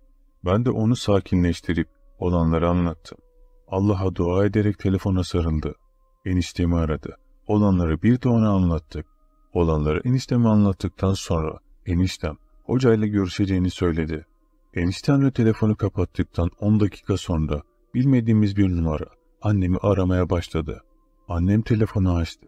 Arayan hocaydı. Hoca benim yanıma gelen yaşlı cin amcayla konuştuğunu, gerçekten her şeyin düzeldiğini söyledi anneme. Annem sevinçten ağladı. Hem hocaya hem o yaşlı cine dualar etti. Hoca telefonu kapatmadan son bir şey söyledi. Eve gelen yaşlı amcanın Kur'an öğrenip okumamı tembih ettiğini söyledi. Dediği gibi de yaptım. Gerçekten olaylar bitmiş. Artık rahat bir nefes almıştım. Boşanma aşamasında olduğum eşimle tekrardan barıştım. Hayatım yoluna girdi. Allah herkese hayırlı bir ömür nasip etsin. Bu hikaye burada sona eriyor. Şimdi diğer hikayeyi anlatıyorum. Hasan K. anlatıyor. Yıl 1986 köyümüzde Mehmet D adında arkadaşımız vardı. Köy halkı sever sayardı. Ama son zamanlarda bir değişim vardı. Nasıl diyeyim? Evinden dışarı çok çıkmaz. Evinin orada oynayan çocuklara kızar, kovardı. Kahveye gitmek için onun evinin önünden yokuşu inmek lazımdı. Sanırsam saat 8-9 arasıydı. Evinin önünden geçerken ufak, tiz bir çığlık sesi duydum. Hızlı adımlarla oradan ayrıldım. Köyün kahvesine gittim. Yaşananları anlattım. Muhtar ile köylüler toplanıp evine gittik. Kapıyı çaldık. Mehmet kapıyı açtı. Halinde bir şey yoktu. Evden ses geliyor dedim. Yok öyle bir şey. Uyuyorum. Defolup gidin buradan deyip kapıyı kapattı. Köylü fazla takmadı. Saat 11'de evime giderken yine oradan geçecektim. Tam kapısının önündeyken 2-3 köylü gördüm. Hızlı adımlarla evime geldim. Gece saat 3 gibi tuvalete kalktım. Bilirsiniz ki köy yerlerinde tuvalet dışarıdadır. Çıktım tuvaletin orada biri duruyor. Siyah kapalı biri. Köyde her tarafı siyah olan kimse yok. Çarşaf giyen kimse de yok. Kimsin diye bağırdım. Ses seda yok. Yavaş yavaş yanına doğru gidiyordum ki yok. Üç saniye önce orada olan şey şu an yok. Hızlı adımlarla evime girdim. Yatağıma yattım. Sabah olmuştu. Bunları konuşmak için Mehmet'in yanına gidecektim. Fakat biraz iş güç derken akşam olmuştu. Saat 10'du. Mehmet'in kapısına geldim. Mehmet elinde tüfek, kazma dışarıya çıktı. Mehmet dedim. Baktı. Bir şey konuşacağım dedim. Yarın sabah gel dedi. İçimden takip etmek geçti. Ve birden bana dönüp sakın, sakın beni takip etmeye kalkma dedi. İşte o an kanım içime çekildi. Tir tir titredim. Koşarak evime gittim. O gece birkaç cam tıklamasından başka bir şey olmadı. Yarın ilk işim köyün hocasına gitmek olacaktı. Sabah oldu. Köyün hocasına giderken Mehmet'le karşılaştık. Bana sakın hocaya gitme. Gel benimle. Her şeyi sana göstereceğim dedi. Gitmek istemedim ama beni kolundan tuttu. Çok güçlüydü. 4-5 insan gücü vardı. Beni evine götürdü. Gel dedi. Artık dediklerini yapıyordum. Odaya bir bakır tepsi getirdi. Tüm perdeleri sıkı sıkı kapattı ve bir anda kolumu tutup bıçakla küçük bir kesik attı. Kanımı bakır tepsiye akıt. Hiçbir şey diyemedim. Sonra şiddetli bir şekilde bir dua etmeye başladı. Kısık sesle dualar okuyordu. Ev sallanmaya başladı. Korkuyordum. Ben neden buradayım bilmiyorum. Sonra tekrar Arapça bir şeyler dedi. Titriyordum. Ev sallanıyordu. Durdu. Bitmişti. Bitti dedi. Ne yaptığımızı sordum. Defineyi bulacağız. Defineyi bulacağız. Gel benimle dedi. Mecbur gidecektim. Yol boyu hiç konuşmadı. Köyde ormanlık bir alan var. Kuş uçmaz kervan geçmez bir yerdi. Bir yeri kazmaya başladı. Bana hiç kazdırmadı. Bir saat boyunca dualar okuyarak kazdı. Resmen defineydi bu. Korkan ben sevinmeye başlamış. Aldık defineyi. Eve geldik. Mehmet onlarla artık işimiz bitti dedi. Ve bana da biraz defineden bir şeyler verdi. Evime gittim. Bu olayı anlatmadım kimse. Sadece şans eseri bulduğumu söyledim. Gece hiçbir sorun olmadı. Rahat rahat uyudum.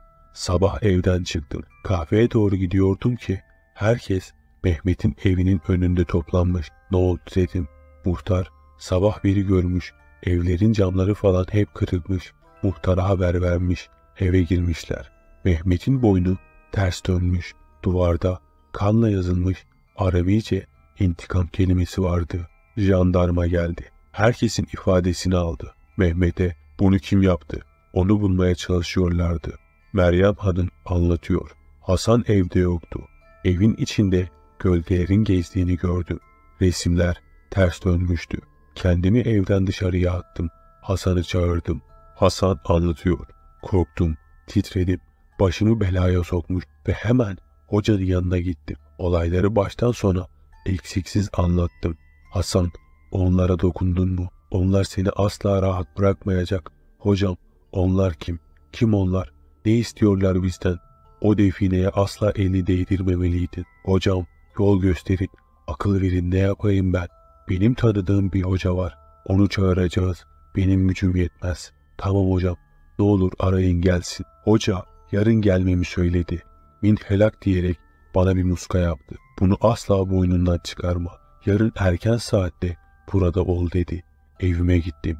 Hava kararıyordu. Ürküyordum. Resimleri düzelttim. Saat 11 civarı yatağınıza geçti. Hemen uyumuştu.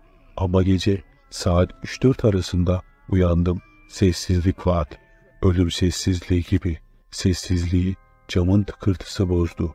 Kapı kendiliğinden kapandı. Camdan dışarı baktım. Tuvaletin orada gördüğüm kadın arkası dönük kapının önünde duruyordu. Aldırmadım. Korkuyordum ama hiçbir şeye aldırmadım. Düşüne düşüne uyumuşum. Sabah oldu. Hemen kahvaltımı yapıp hocanın yanına gittim. Hocanın yanında kirli sakallı 55-60 yaşında bir adam vardı. Selamımı verdim. İçeriye girdim. Fakat bana direkt bağırarak Çık dışarı. demeye başladı ve dışarıya çıkardı. Burada bekle deyip içeriye girdi. 7-8 dakika sonra beni içeriye çağırdı. Bak oğlum, Mehmet ölmeden önce tüm varlıkları sana musallat edip defineyi kendi harcamak istedi. Fakat o varlıklar onun canını aldı. Senin de canını alacaklar. Hocam ben nasıl kurtulacağım? Hiçbir şey bilmiyordum. Her şey birden oldu. Allah'ın izniyle sen kurtulacaksın oğlum. Daha yeni sana çık diye bağırmamın nedeni ise sen nereye gidersen o varlıklar senle geliyor. Seni dışarı çıkarıp evi koruma altına aldım. Hocam bu işten nasıl kurtulacağım? Bu akşam Allah'ın izniyle seni kurtaracağız evladım. Al şu muskayı. Muskayı aldım ve eve gitmemi söyledi. Akşam saat 10'da gelmemi söyledi. Evde hiçbir sorun yoktu. Oturdum gün boyu. Evde saat 22'ye yaklaşıyordu. Kalktım. Hocanın evine doğru yol aldım. Beni birinin takip ettiğini hissediyordum. Nihayet bir şey olmadan hocanın evine vardım. Selamımı verdim. Aldılar içeri. Buyur.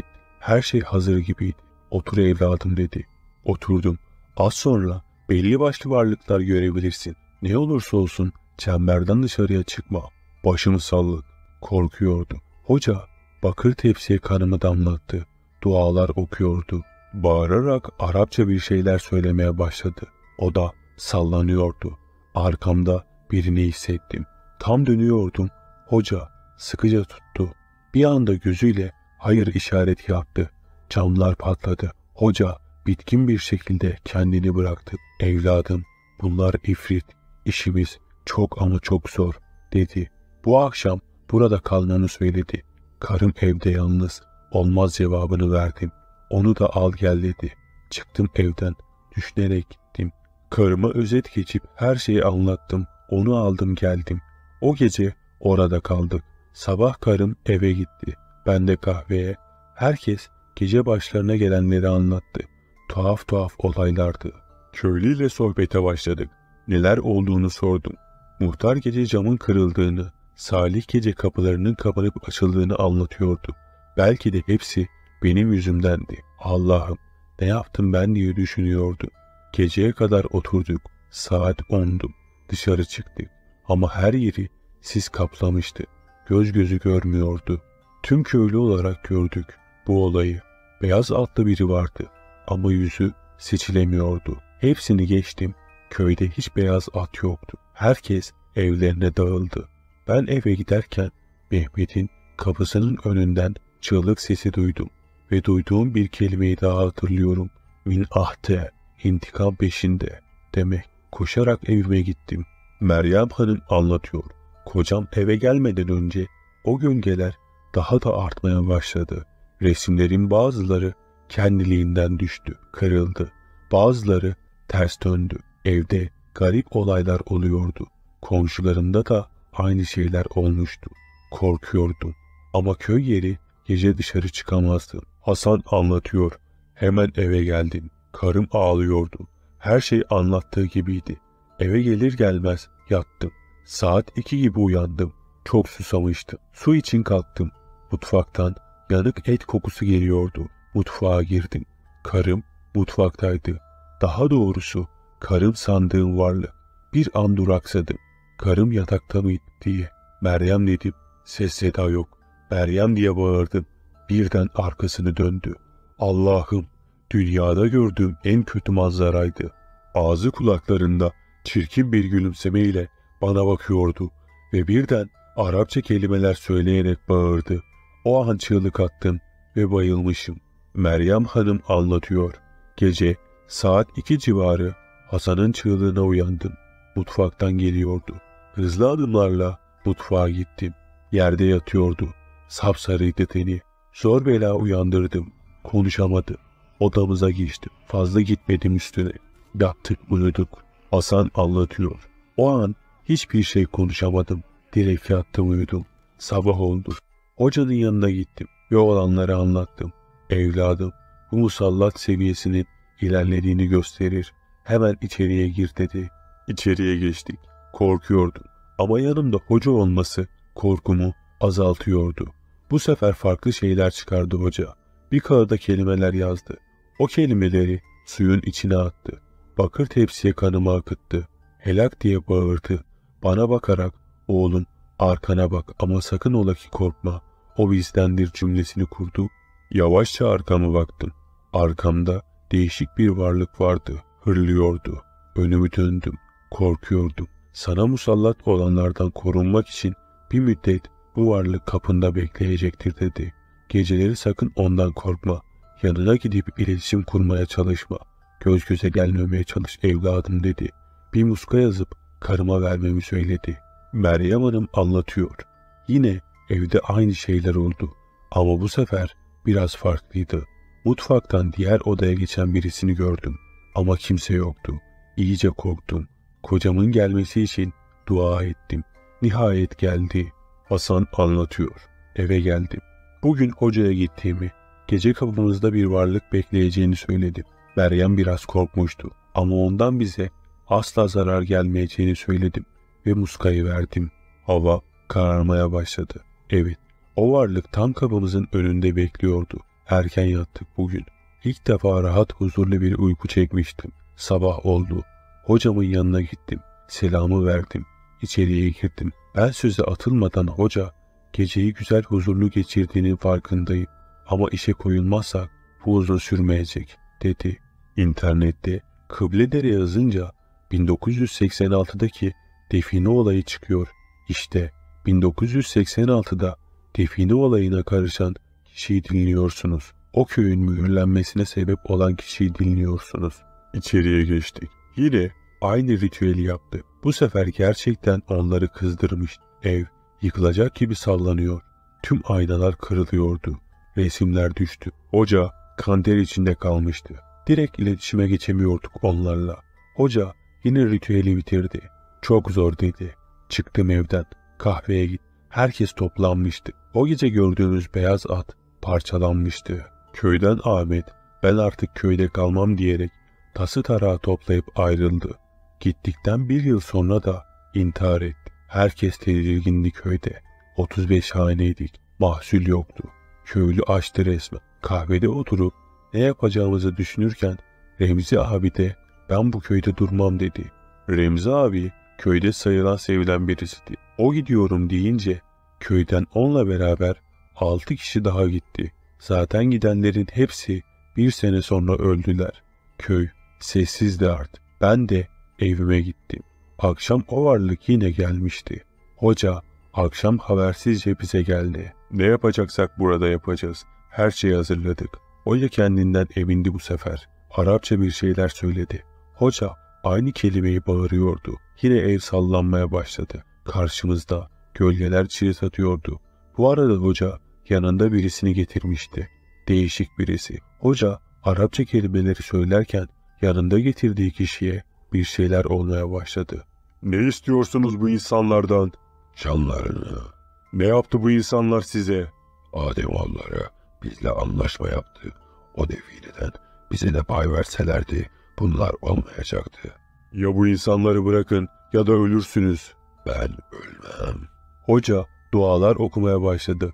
Evin içinde öyle çığlık sesleri vardı ki kulaklarım sağır olacaktı resmen. Sonunda bitti. Hepsinden uzun sürmüştü ama bitti. Hoca bu gece burada kalacağını, o varlığı öldürdüğünü söyledi. Hocaya bir yatak açtık.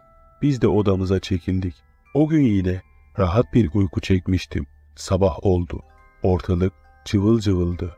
Güzel bir güne başlamak benim için de güzel olmuştu. Bu köyden de göçme vakti gelmişti. Tasımızı tarağımızı toplayıp şehre gidecektik. İki gün içinde her şeyimizi aldık. Köylüyle vedalaşıp şehre doğru yol aldık. Yol boyunca bir sorun olmadı.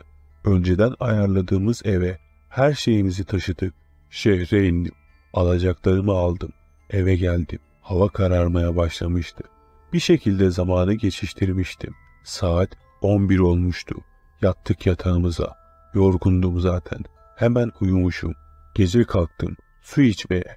Yine o yanık et kokusunu alıyordum. Gitmek istemiyordum. Ama ayaklarım zorladı. Yine karım şeklindeydi. Biliyordum o olmadığını. Ağlamaya başladım. Aynı surat, aynı şekilde döndü bana.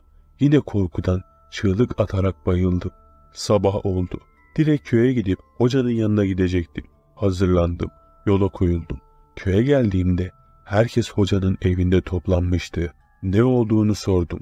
Hocanın parçalanarak öldüğünü öğrendim. Duvarlarda ise Aramice ben ölmedim yazıları varmış. Sıra bize gelecekti. Biliyordum. Köyün iki hocası ölmüştü. Köyden herkes göçmüştü. Hemen yeniden yola koyuldum. Evime gitmek için kapıyı açtım. Meryem kas katı kesilmişti. Meryem Hanım anlatıyor. Gördüm onları. Orada onları gördüm. Evin içindeydiler. Ağızları burunlarındaydı diyerek ağlamaya başladı. Hasan anlatıyor. Bitmemişti hiçbir şey. Onlar beni de alacaktı. Karımı komşuya bırakıp cami hocasına gitmek için yola koyuldum. Camiye girdim. Hocanın yanına gittim. Konuşmak istediğimizi söyledim. Tüm bu olan biten ölümleri her şeyi anlattım. Evimi sordu bana, gösterdim. Akşam geleceğini söyledi. Evime gittim. Karımı komşudan aldım. Gelmesini bekledik. Saat 10'da nihayet gelmişti. Yanında bir adam vardı. Buyur ettim içeriye. Yanındaki adam bana bakarak sen mühürlenmişsin dedi. Senin işin çok zor. Bu sözler beni çok korkutuyordu. Yine aynı şeyler, yine ritüellere başladık. Hocanın arkasında dört tane varlık belirtti. Hocam dedim gegeleyerek. Korkma, onlar bizdendir dedi. Rahatlamıştım. Ritüele devam etti. Evde şiddetli bir şekilde çığlık sesleri vardı. Onlar çok güçlü. Ben yapamam diyerek bir hışımla evden çıktı. Hiç kimse derdimize bir çare bulamıyordu. Ne yapacağımı bilmiyordu. Küfrederek geçtim yatağımı. Gece sadece çığlık sesleri vardı. Aldırmadım. Sabaha kadar gözüme uyku girmedi. Köyden haber geldi. Dört arkadaşımın daha cesetlerinin parçalanarak öldüğünü duydum. Köy artık bomboştu. Kimse kalmamıştı. Herkes tek tek ölüyordu. Sıra bendeydi. Biliyordum. Evimde çaresiz bir şekilde oturuyordum. Tıkırtı sesleri duyuyordum. Kapılar açılıp kapanıyordu. İnternette gazetelerde yazıyor ya, Kıbledere Köyü 1989'da boşaltıldı. Hayır, Kıbledere Köyü 1986'da boşaltıldı. 1988'de bazı insanlar o köye göçtü. 20-25 hane oldu ama 20-25 kişiden 8-9'u parçalanarak öldü. O köy bir daha terk edildi. Onlar hep bizimle. Onlar else bizde. Onlar Ademoğlu'yla her zaman uğraşacak. Yalnız değilsiniz. Bu hikaye burada sona eriyor. Şimdi diğer hikayeyi anlatıyorum. Olaylar Nevşehir'in Hacı Bektaş ilçesinde bir köyde gerçekleşmiştir. Bugün yeni evimde ilk günüm. Civar köyden zengin bir adam köyümüzde katıldığı bir düğünde beni görmüş, beğenmiş. İlk önce görücü olarak geldiler. Daha sonra da istemeye geldiler. Babam benim için teklif edilen hediyelerden o kadar memnun kaldı ki hiç düşünmeden kabul etti. 10 büyük baş hayvan ve 20 dönüm toprak karşılığı 19 yaşımdayken Agah Bey'in ikinci karısı oldum. Agah Bey yaşlı değildi ama yine de benden 15 yaş büyüktü. Çirkin bir insan değildi. Evlendik. Evliliğimizin ilk gecesi olmasına rağmen odama gelmemişti. Sanırım geceyi ilk karısıyla geçirmeyi tercih etmişti. Sabah olunca odadan çıktım. Mutfağa indim. Konak, iki göz bir evde doğmuş bir kız için oldukça büyüktü. Mutfağa girdiğimde beni yardımcılardan biri karşıladı. Adının Münevver olduğunu öğrendiğim kadın.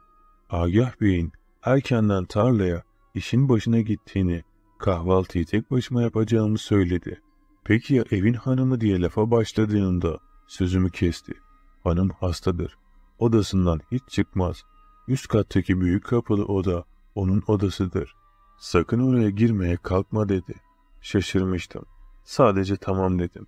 Sessizce kahvaltımı etmeye başladım. Sanırım evin hanımı benim kuma olarak gelmemden memnun değildi ve beni görmek istemiyordu. Günümün geri kalanını boş boş oturarak geçirdim. Yapacak hiçbir şeyim yoktu. Yardımcılar hiçbir işe dokunmama izin vermiyordu. Annem evlenirken bana, benim talihli kızım, hayat boyu rahat edeceksin demişti. Zengin bir eve gelin gittiğim için mutluydu. Bense şu an kendimi çok yalnız hissediyordum. Tüm gün odam ve bahçe arasında gidip geldim. Bomboş oturdum. Konakta Kahya dahil üç yardımcı vardı. Hepsi de kendi işiyle meşguldü. Kimsenin benimle ilgilenecek vakti yoktu. Böyle büyük bir konağın işine üç kişi nasıl yetişiyordu? Sonunda hava kararmış, vakit oldukça geç olmuştu. Odamın penceresinden umutsuzca dışarıyı izliyordum. İyice uyku bastırmışken sonunda Agah Bey'in bahçe kapısından girdiğini gördüm. Sonunda gelmişti. Bahçeye girer girmez direkt odamın penceresine baktı. Tüm konakta ışığı yanan tek oda benimkiydi. Herkes çoktan uyumuştu. Agah Bey'le göz göze gelince heyecandan hemen perdenin arkasına saklandım. Kalbim ağzıma gelmişti. Evleneli iki gün olmuştu. Ama kocamla konuşma fırsatım bile olmamıştı. Aradan biraz zaman geçti. Ama gelen giden yoktu. Gaz lambasını hafifçe kıstım. Loş ışıkta yatağıma uzandım. Tam gözlerimi yumup uyuyacaktım ki büyük bir bağırışla yerimden sıçradım. Öfkeli bir erkek sesi. Tüm konakta yankılanıyordu. Ne söylediğini anlayamıyordum ama çok kızgın olduğu belliydi. Yavaşça odamın kapısını açtım. Aralıktan sesin nereden geldiğini anlamaya çalıştım. Ses koridorun ucundaki büyük kapılı odadan geliyordu. Orası evin hanımının odasıydı. Benim girmemin yasak olduğu oda. Neler konuştuklarını anlamak için kulak kabarttığımda odanın kapısı gıcırtıyla açıldı. Hemen odama girip kapımı kapattım. Ne yapacağımı bilmez bir şekilde koşup yatağıma oturdum. Koridordaki ayak seslerinin ardından odamın kapısı bir hışımla açıldı. Bu Agah Bey'di. Agah Bey'in gergin olduğu her halinden belliydi. Kanter içindeydi. Odaya girince derin bir nefes çekti. Üstünü başını düzeltti. Agah Bey oldukça uzun boylu, yapılı, kapı gibi bir adamdı. O kadar utanmış ve heyecanlanmıştım ki başımı yerden kaldıramıyor, sesimi çıkartamıyordum. Agah Bey yanıma yaklaştı. Cibinden bir şey çıkardı. Yatağın üzerine koydu. Dün verecektim ama nasip olmadı. Yüz görümlüğün dedi ve odadan çıkıp gitti. Hayal kırıklığına uğradım. Olduğum yerde kaldım. Yatağın üzerine yüz görümlüğü olarak beşi bir yerde bırakmıştı. Sanırım ilk hanımıyla kavga etmişlerdi. Agah Bey beni aldığı için pişman olmuştu. Hediyesini alıp kaldırdım. Sanırım kocamdan görüp görebileceğim ilgi buydu. Kısık gaz lambasının loş ışığında tekrar yatağıma girdim. Yabancı bir evde, karanlıkta, tek başıma uyumak beni tedirgin ediyordu. Buraya nasıl alışacağımı bilmiyordum. Gözlerimi yumdum ve uykuya daldım. Bir süre sonra garip bir sesle uykumdan sıçradım. Sanki küçük bir çocuğun kıkırdamasını duyduğumu sanmıştım. Bir süre kulak kabarttım ama ses falan yoktu. Herhalde rüya gördüm diyerek tekrar uykuya dönmek için gözlerimi yumdum. Tam uykuya dalacaktım ki tekrar o sesi duydum. Küçük bir çocuk kıkırdıyordu.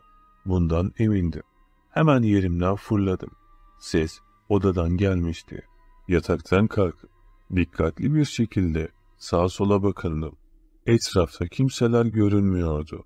Hemen arkamdan gelen kıkırdama ve koşma sesleriyle yerimden sıçradım. Perdenin arkasında biri vardı. Bunu çok net görebiliyordum. Dikkatli ve tedirgin bir şekilde Perdeye yaklaştım. Bildiğim kadarıyla konakta yaşayan bir çocuk yoktu. Hiç rastlamamıştım. Acaba ben odamdayken yatılı misafir mi gelmişti? Perdeyi hızla açtım. Perdenin arkası boştu. Orada birinin saklandığına emindim. Kafam karışmış, ne olduğunu anlamamış bir şekilde birkaç saniye boşluğa baktım. Tüylerim diken diken olmuştu. Hemen gaz lambasını sonuna kadar açtım. Yatağıma girip sakin olmaya çalıştım. Sanırım yalnızlıktan sinirlerim bozuldu diyerek kendimi avutmaya çalışıyordum. Ertesi gün erken kalktığım halde Agah Bey yine evde değildi. Aşağıya mutfağa indiğimde yardımcılar kahvaltı ediyorlardı. Münevver abla sofraya benim için bir tabak daha koydu. Erken kalktığım için tek başıma kahvaltı etmek zorunda değildim. Münevver abla orta yaşlardaydı. Hiç evlenmemişti. Annesi Hacer teyze. İkisi konağın mutfak ve temizlik işiyle ilgileniyorlardı. Münevver ablanın babası Hikmet amca ise konağın kahyasıydı. Aynı zamanda bahçe ve tarla işlerine bakıyordu. Hikmet amcanın söylediğine göre o konakta doğmuş. Annesi babası da bu konakta çalışmış ve burada rahmetli olmuşlardı. Gördüğüm kadarıyla işleriyle meşgul, kendi hallerinde mütevazi insanlardı. Kahvaltı ederken sohbetimizin ortasında dün gece çocuklu misafir mi vardı? Çocuk sesi duydum diye sordum. Acar teyze ve Hikmet amca birbirlerine baktılar. Hikmet amca, yok evladım, çocuk falan yoktu dün akşam. Sana öyle gelmiştir dedi. Oysa ki ben yaşadıklarımı an ve an hatırlıyordum. Yüzlerinde memnuniyetsiz bir ifade belirdiği için konuyu daha fazla uzatmadım. Münevver ablaya yardım edebileceğim bir şey olup olmadığını sordum. Ama bana odamda oturmamın daha doğru olacağını söyledi. İyi ki kendi evimden gelirken tığ işlerimi de yanımda getirmiştim. Yoksa burası tüm gün bomboş durmaktan aklımı kaçırabilirdim. Tüm gün odamda, pencerenin kenarında tığ işledim. Bir yandan da Hikmet amcanın bahçeyle ilgilenmesini izliyordum. Hava karardığında gözlerim iyice yorulmuştu. Münevver abla yemeğimi odama getirdiği için hiç dışarı çıkmam gerekmemişti. Ne kadar beklersem bekleyeyim. Agah Bey henüz gelmemişti. Sonunda uykusuzluğa daha fazla dayanamadım. İşimi bıraktım ve lambayı kısıp yatağıma girdim. Uykuya daldım. Uykumdan pencerenin çarpmasıyla uyandım. Uyku sersemliğiyle etrafa bakındığımda pencerenin açıldığını ve rüzgarla çarptığını gördüm. Pencereyi sıkıca kapattım. Yatağıma dönüp uykuma devam ettim. Ertesi gün yine erkenden gözlerimi açtım. Yatağımda uykulu uykulu dönerken hafif bir ıslaklık dikkatimi çekti. Hafifçe yerimden doğrulup baktığımda gördüğüm karşısında şok olmuştum. Yatağın her yeri çamur, pislik, kuru yapraklar ve çalı çırpıyla kaplıydı. Korkudan kendimi yataktan yere attım. Neler olduğunu anlamaya çalışıyordum. Üstüm başım batmıştı ve korkunç bir koku tüm odayı kaplamıştı. Korku ve dehşet içerisinde odadan fırladım. Hemen alt kata, mutfağa indim. Halimi gören Münevver abla şaşkınlıkla ne olduğunu soruyordu. Öyle korkmuştum ki ağzımı dahi açamıyordum. Elim ayağım titriyordu. Münevver abla hemen beni oturttu ve telaşla elime bir bardak su verdi. O kadar kötü bir haldeydim ki elimdeki bardağı bile zor tutuyordum. Sudan birkaç yudum aldım ve biraz sakinleşmeye çalıştım. Münevver abla sürekli ne olduğunu soruyordu. Uyandığımda yatağım pislik içindeydi. Ne olduğunu, nasıl olduğunu anlamadım. Sonunda kendime daha fazla hakim olamadım ve gözyaşlarına boğuldum. Münevver ablanın gözleri dehşetle açılmıştı. Sen buradan ayrılma dedi ve mutfaktan telaşla ayrıldı. Hava serindi. Üzerinde çamurlu pijamalarla mutfakta bir başıma kalmıştım. Kısa bir süre sonra Hacer abla geldi. Kuzum, kıyamam ben sana. Gel seni güzelce yıkayalım. Sonra da üstünü başını değiştirelim diyerek beni şefkatle kaldırdı. Beni önce banyoya soktu. Saçlarıma kadar pisliğe bulaşmıştım. Beni yıkadıktan sonra odama çıktık.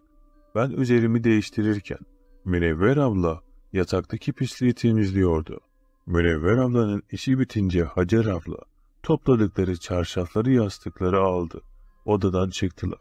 Penceremin kenarında sakin kafayla olanları düşünüyordum. Acaba gece uyur gezer bir vaziyette yatağı bu hale getiren ben miydim? Ben değilsem kim böyle bir şey yapardı ki? Pencereden dışarıyı izleyip düşünürken Hacer ablayla Münevver'i gördüm. Hacer abla bahçe işleriyle uğraşan Hikmet amcanın yanına gitmiş. Ona hararetli bir şeyler anlatıyordu. Münevver abla ise çamur içindeki yorganları yastıkları bahçenin kenarındaki ocakta yakmaya başlamıştı. Neden yıkamak yerine yakıyordu? Anlayamıyordum. Yıkamak için fazla mı kirli bulmuşlardı? Hacer abla Hikmet amcaya ne söylemişti bilmiyorum. Hikmet amca alelacele traktörü atladı ve konaktan ayrıldı. Yaşadıklarımdan dolayı neden bilmiyorum. Başımda korkunç bir ağrı vardı. Sanki çatlamak üzereydi. Oturduğum sedirde istemeden de olsa uykuya dalmıştım. Bir süre sonra traktörün sesiyle kendime geldim. Gözlerimi açtığımda çoktan hava kararmaya başlamıştı. Hikmet amca dönmüştü. Traktörün hemen arkasında Agah Bey'in arabası vardı. İlk kez bu kadar erken geldiğini görmüştüm. Agah Bey direkt pencereme baktı. Bu sefer kaçmadım ve günler sonra ilk kez göz göze geldik.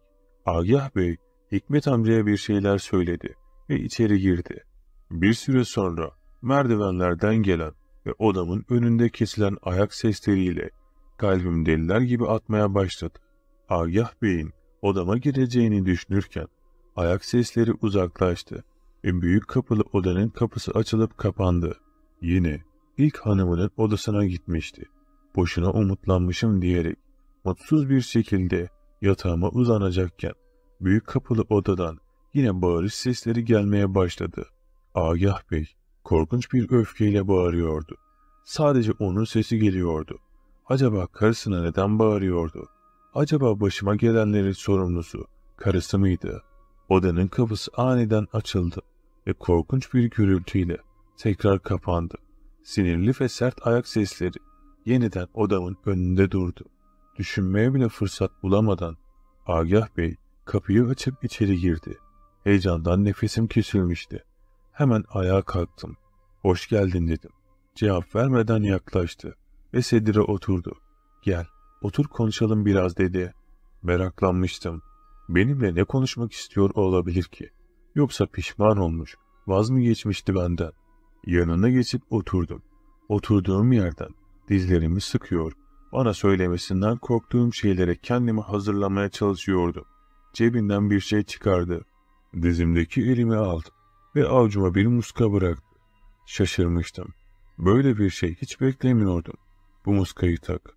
Banyoya girdiğinde bile sakın çıkarma. Yeni gelinsin. Seninle hiç ilgilenemedim. Kusura bakma dedi. Günlerdir içimde taşıdığım o mutsuzluk ve ağırlık hissi bir anda yok olmuştu. Yerine şaşkınlık ve sevinç gelmişti. O gece Agah Bey benimle kaldı. Hatta ondan sonraki gecelerde artık tüm gün konakta tek başıma kalmama izin vermiyordu. Sabah erkenden beraber tarlaya gidiyorduk. O çalışanlarla ilgilenirken ben de gölgede oturuyor onları izliyordum. Akşam olunca da beraber konağa dönüyorduk. Aylar bu şekilde geçip gitti. Evleneli neredeyse bir yıl olmuştu. Ve ben altı aylık hamileydim. Daha mutlu olamazdım. Agah Bey bugün çıkarken evde kalmamı söylemişti. Eve hoca geleceğini, bana da bakacağını, bebeğin sağlıklı olup olmadığına emin olmamız gerektiğini, işlerini erkenden halledip hocayı karşılamak için geri döneceğini söyledi. Neden böyle bir şeye ihtiyaç duyduğunu anlamamıştım. Konakta büyük bir hazırlık vardı. Hoca için yemekler yapılmış, sofralar kurulmuş. Hocanın önceden istediği malzemeler hazırlanmıştı. Öğrendiğime göre yan köyden gelen Sadık Hoca her yıl düzenli olarak konağı ziyaret eder, konağı ve içindekileri okur üflermiş. Uzun bir bekleyişin ardından Hoca efendi ve yardımcısı gelmişti. Oldukça yaşlı bir adamdı. Elindeki bastonu tutarak zar zor yürüyordu. Hoca herkesle tek tek selamlaştı. Hiç vakit kaybetmeden konağın tüm odalarını gezmeye başladı. Sıra büyük odaya geldiğinde İçeriye sadece hoca efendi, yardımcısı ve Agah Bey girdi. Münevver abla, hadi gel. Onların işi uzun sürer. Biz bahçede bekleyelim dedi. Bahçeye girip sedire oturduğumuzda neredeyse buraya geleli bir sene olacak. Ama ben büyük hanımı ne görmüştüm ne de duymuştum. Münevver abla, büyük hanım neden hiç dışarıya çıkmıyor? Agah Bey hariç o odaya niye kimse girmiyor? Münevver ablanın yüzünde sıkıntılı bir ifade vardı. Normal görünmeye çalışarak büyük hanımın geçmeyen bir rahatsızlığı var. Bu yüzden odasına kimse girmez. Onun da çıkmaya gücü yok. Yemeğini biz götürüp getiriyoruz. Sen görmemişsindir dedi. Verdiği cevap beni tatmin etmemişti. E bu kadın tuvaletine mi gitmiyor diye sordum.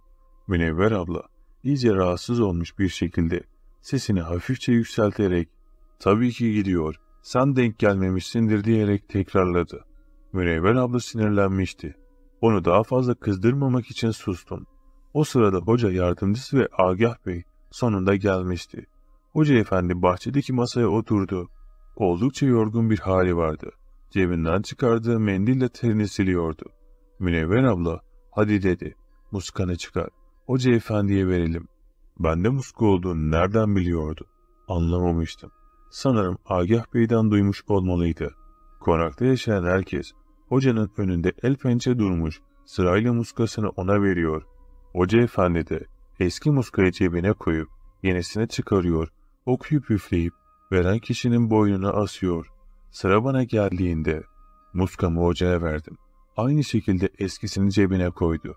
Yenisini boynuma astı. Ama beni okuyup üflemesi diğerlerine oranla daha uzun sürmüştü. İşi bittiğinde yardımcılarından bir kutu aldı ve bana uzattı. Al kızım, bu macunu her gece yatmadan önce karnına sür. Bebeğin rahat etsin dedi. Neden bana böyle bir şey verdiğini, ne işe yaradığını anlamamıştım ama itiraz etmeden alıp teşekkür ettim. Hocanın işi bittiğinde hava çoktan kararmıştı. Agah Bey hocayı dışarıya kadar uğurladı.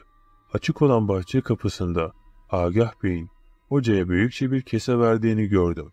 Münevver abla, Agah Bey hocaya ne veriyor diye sorduğumda bir kese altın dedi. Sonraki günler sakin geçmişti. Hamileliğim ilerliyordu. Ama artık çabuk yorulduğum için beni tarlaya götürmüyordu Agah Bey.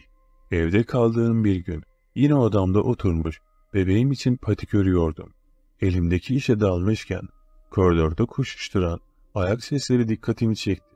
Sanki küçük bir çocuk koridorda koşuyormuş gibi sesler geliyordu. Bir süre kulak kabarttıktan sonra yerimden kalktım.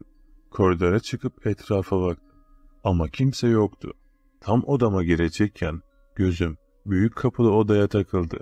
Kapı hafifçe aralanmıştı. Bir yıldır buradaydım ve ilk kez odanın kapısını açık görmüştüm. Odama girmeliydim ama dayanamadım. İçim içimi kemiriyordu. Hanımı bir kez olsun görmek istiyordum. Derin bir nefes aldım. Tedirgin adımlarla odaya doğru ilerlemeye başladım. Kapıya geldiğimde içeri girip girmemek konusunda tereddüt ettim. Nasıl bir tepkiyle karşılaşacağımı bilmiyordum. Kapıyı hafifçe ittim. Pencereler kalın perdelerle sımsıkı kapatılmıştı. İçerisi zifiri karanlıktı. İçeriği daha iyi görebilmek için bir iki adım daha atacaktım ki içeriden gelen küçük bir çocuğun kıkırdamasıyla olduğum yerde donup kaldım. Bir anda odanın kapısı aniden öyle sert bir şekilde kapandı ki bana çarpmasıyla sırt üstü yere kapaklanmam bir olmuştu. Çok sert düşmüştüm. Kapı karnıma çarpmıştı. Şaşkınlık ve korku içinde kendimi toparlayıp kalkmaya yeltendiğim anda karnımdaki korkunç ağrı kalkmamı engelledi. Acıdan kıvranıyordum. Ne olduğunu anlamadım. Zoraki bir şekilde yerimden doğrulduğumda koca bir kan gölünün içinde yattığımı gördüm. Dehşet içinde boğazım yırtılırcasına çığlık atmaya, yardım istemeye başladım. Sesimi duyup gelen Hacer abla halimi görünce feryat ederek bana koşmuş. O da var gücüyle Hikmet amcaya seslenmiş. Sesimize gelen Hikmet amca beni kucakladığı gibi traktörün kasasına yatırıp Hacer teyze de yanıma binip beni sıkıca tutmuştu. Bahçede olanları gören Münevverse siz yola çıkın ben Agah Bey haber vereceğim diyerek arkada kalmıştı. Traktörün sarsıntısı Çektiğim acı, kaybettiğim kanın da etkisiyle kısa süre sonra kendimi kaybetmiştim. Gözlerimi açtığımda kasaba hastanesindeydik. Kendimi çok halsiz ve bitkin hissediyordum. Uyandığımı gören hemşire kapıya koşup birini çağırdı. Odaya giren Agah Bey'di. Yüzünde korkunç bir ifade vardı. Sanki bir günde yaşlanmıştı. Gelip bir sandalye çekti. Sakince yanıma oturup elimi tuttu. İyi misin diye sordu. Yüzündeki acı beni korkutmuştu. Ben iyiyim. Peki ya bebeğim diye sordum. Agah Bey başını eğdi. Yüzüme bakamıyordu. Anlamıştım. Bebeğim ölmüştü. Gözlerimden taşan yaşlarla feryatlar ederek ağlamaya başlamıştım. Sinir krizi geçiriyordum. Beni sakinleştirmeye çalışan Agah Bey sonunda hemşireyi çağırdı. Gelen hemşirenin yaptığı iğneyle üzerime bir ağırlık çöktü ve uykuya daldım. Bir süre sonra uykumun arasında Hikmet amca ve Agah Bey'in konuşmasını duydum. Agah Bey, hoca da yeni geldi. Böyle bir şey nasıl olabilir diyordu. Hikmet amca ise, vallahi bilmem ki beyim, biz de şok olduk. Münevver ve Hacer de eve girmeye korkar oldular. Sadık Hoca tekrar gelse iyi olur cevabını verdi. Agah Bey de, oradan geliyorum. Sadık Hoca vefat etmiş. Artık ondan yardım alamayız dedi. Neden bahsettiklerini anlamıyordum. Daha fazla uyanık kalamadım. Tekrar uykuya daldım. Hastanede bir hafta kadar kalmıştım. Toparlanmam uzun sürmüştü. Tekrar konağa dönmek istemiyordum. Orası benim için kabustan farksızdı. Ama artık baba evime dönemezdim. Ailem beni kabul etmezdi. Taburcu olacağım gün gelip çatmıştı. Agah Bey ve Hikmet amca beni almaya gelmişlerdi. Konağa döndüğümüzde bahçe kapısında dondum kaldım. İçeri girmeye korkuyordum. Agah Bey elini omzuma koydu. Korkma dedi. Seni bir daha korumasız bırakmayacağım. Ona güvenmekten başka çarem yoktu. Konaktan içeri girdim. Münevver abla ve Hacer abla beni içeride karşıladılar. Bana uzun uzun sarıldılar. İkisi de çok üzgün görünüyordu. Ayaklarım titreye titreye üst kata çıktım. Koridor tertemizdi. O günden geriye hiçbir iz kalmamıştı. Ama ben yaşadıklarımı asla unutmayacaktım. Gözlerim tedirginlikle büyük kapılı odaya kaydı. Kapı boydan boya muskalar ve dualarla mühürlenmişti. Şaşkındım. Neden böyle bir şey yapmışlardı ki? Kelimeler ağzımdan çıkmıyordu. Sadece elimle kapıyı işaret edebildim. Agah Bey, düşünme sen bunları. Gel odaya geçelim dedi. Tüm gün yeniden kalkmama izin vermediler. Agah Bey sürekli yanımdaydı. Benimle yakından ilgileniyordu. Fiziksel olarak çok yıpranmıştım. Ama asıl yara ruhumdaydı. Doğmasına sadece birkaç ay kala bebeğimi kaybetmiştim. Gece olmuş, yatma vakti gelmişti. Agah Bey tüm gün yanımdan ayrılmamıştı. Birlikte yatağımıza girmiş, uykuya dalmıştık. Kendimi o kadar yorgun hissediyordum ki yatar yatmaz uykuya daldım. Uykumun arasında nefes alamadığımı hissetmeye başladım. Derinlerde bir yerden bir ses, hocamı çaldın diyordu. Bilincim yarı kapalıydı. Rüya gördüğümü sanmıştım. Ama ses gittikçe yükselmeye, nefesim daha da kesilmeye başlamıştı. Gözlerimi açtığım anda üstüme oturmuş simsiyah bir şeyin boğazımı sıktığını gördüm. Nefes alamıyordum. Oda zifiri karanlıktı.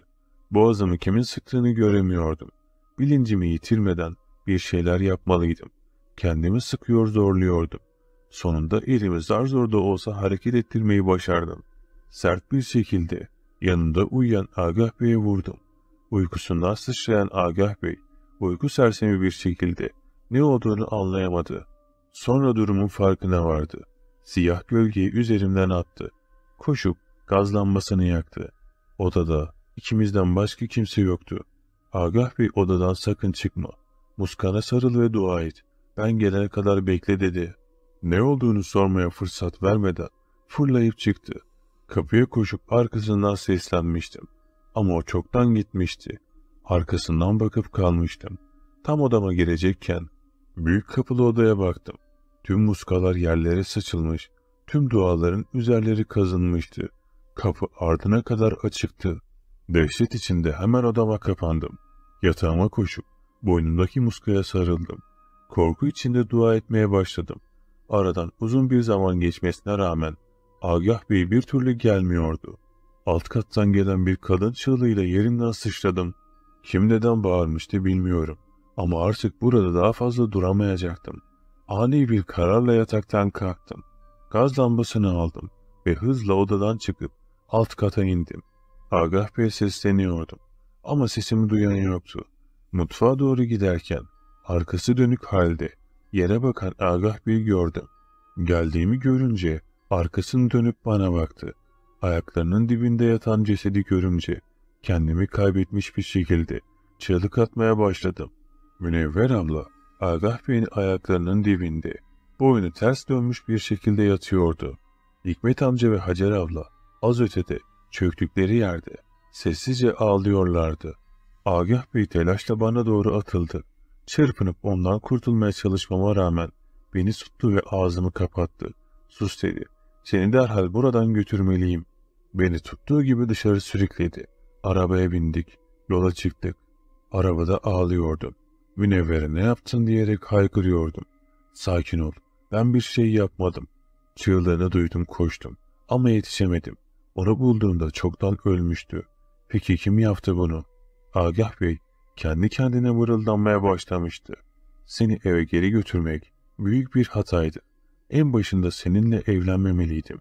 Hayatını mahvettim. Seni çok kıskandı. Hamile kaldığını öğrenince de kontrolden çıktı. Ne yaparsam yapayım onu bir türlü kontrol altına alamadım.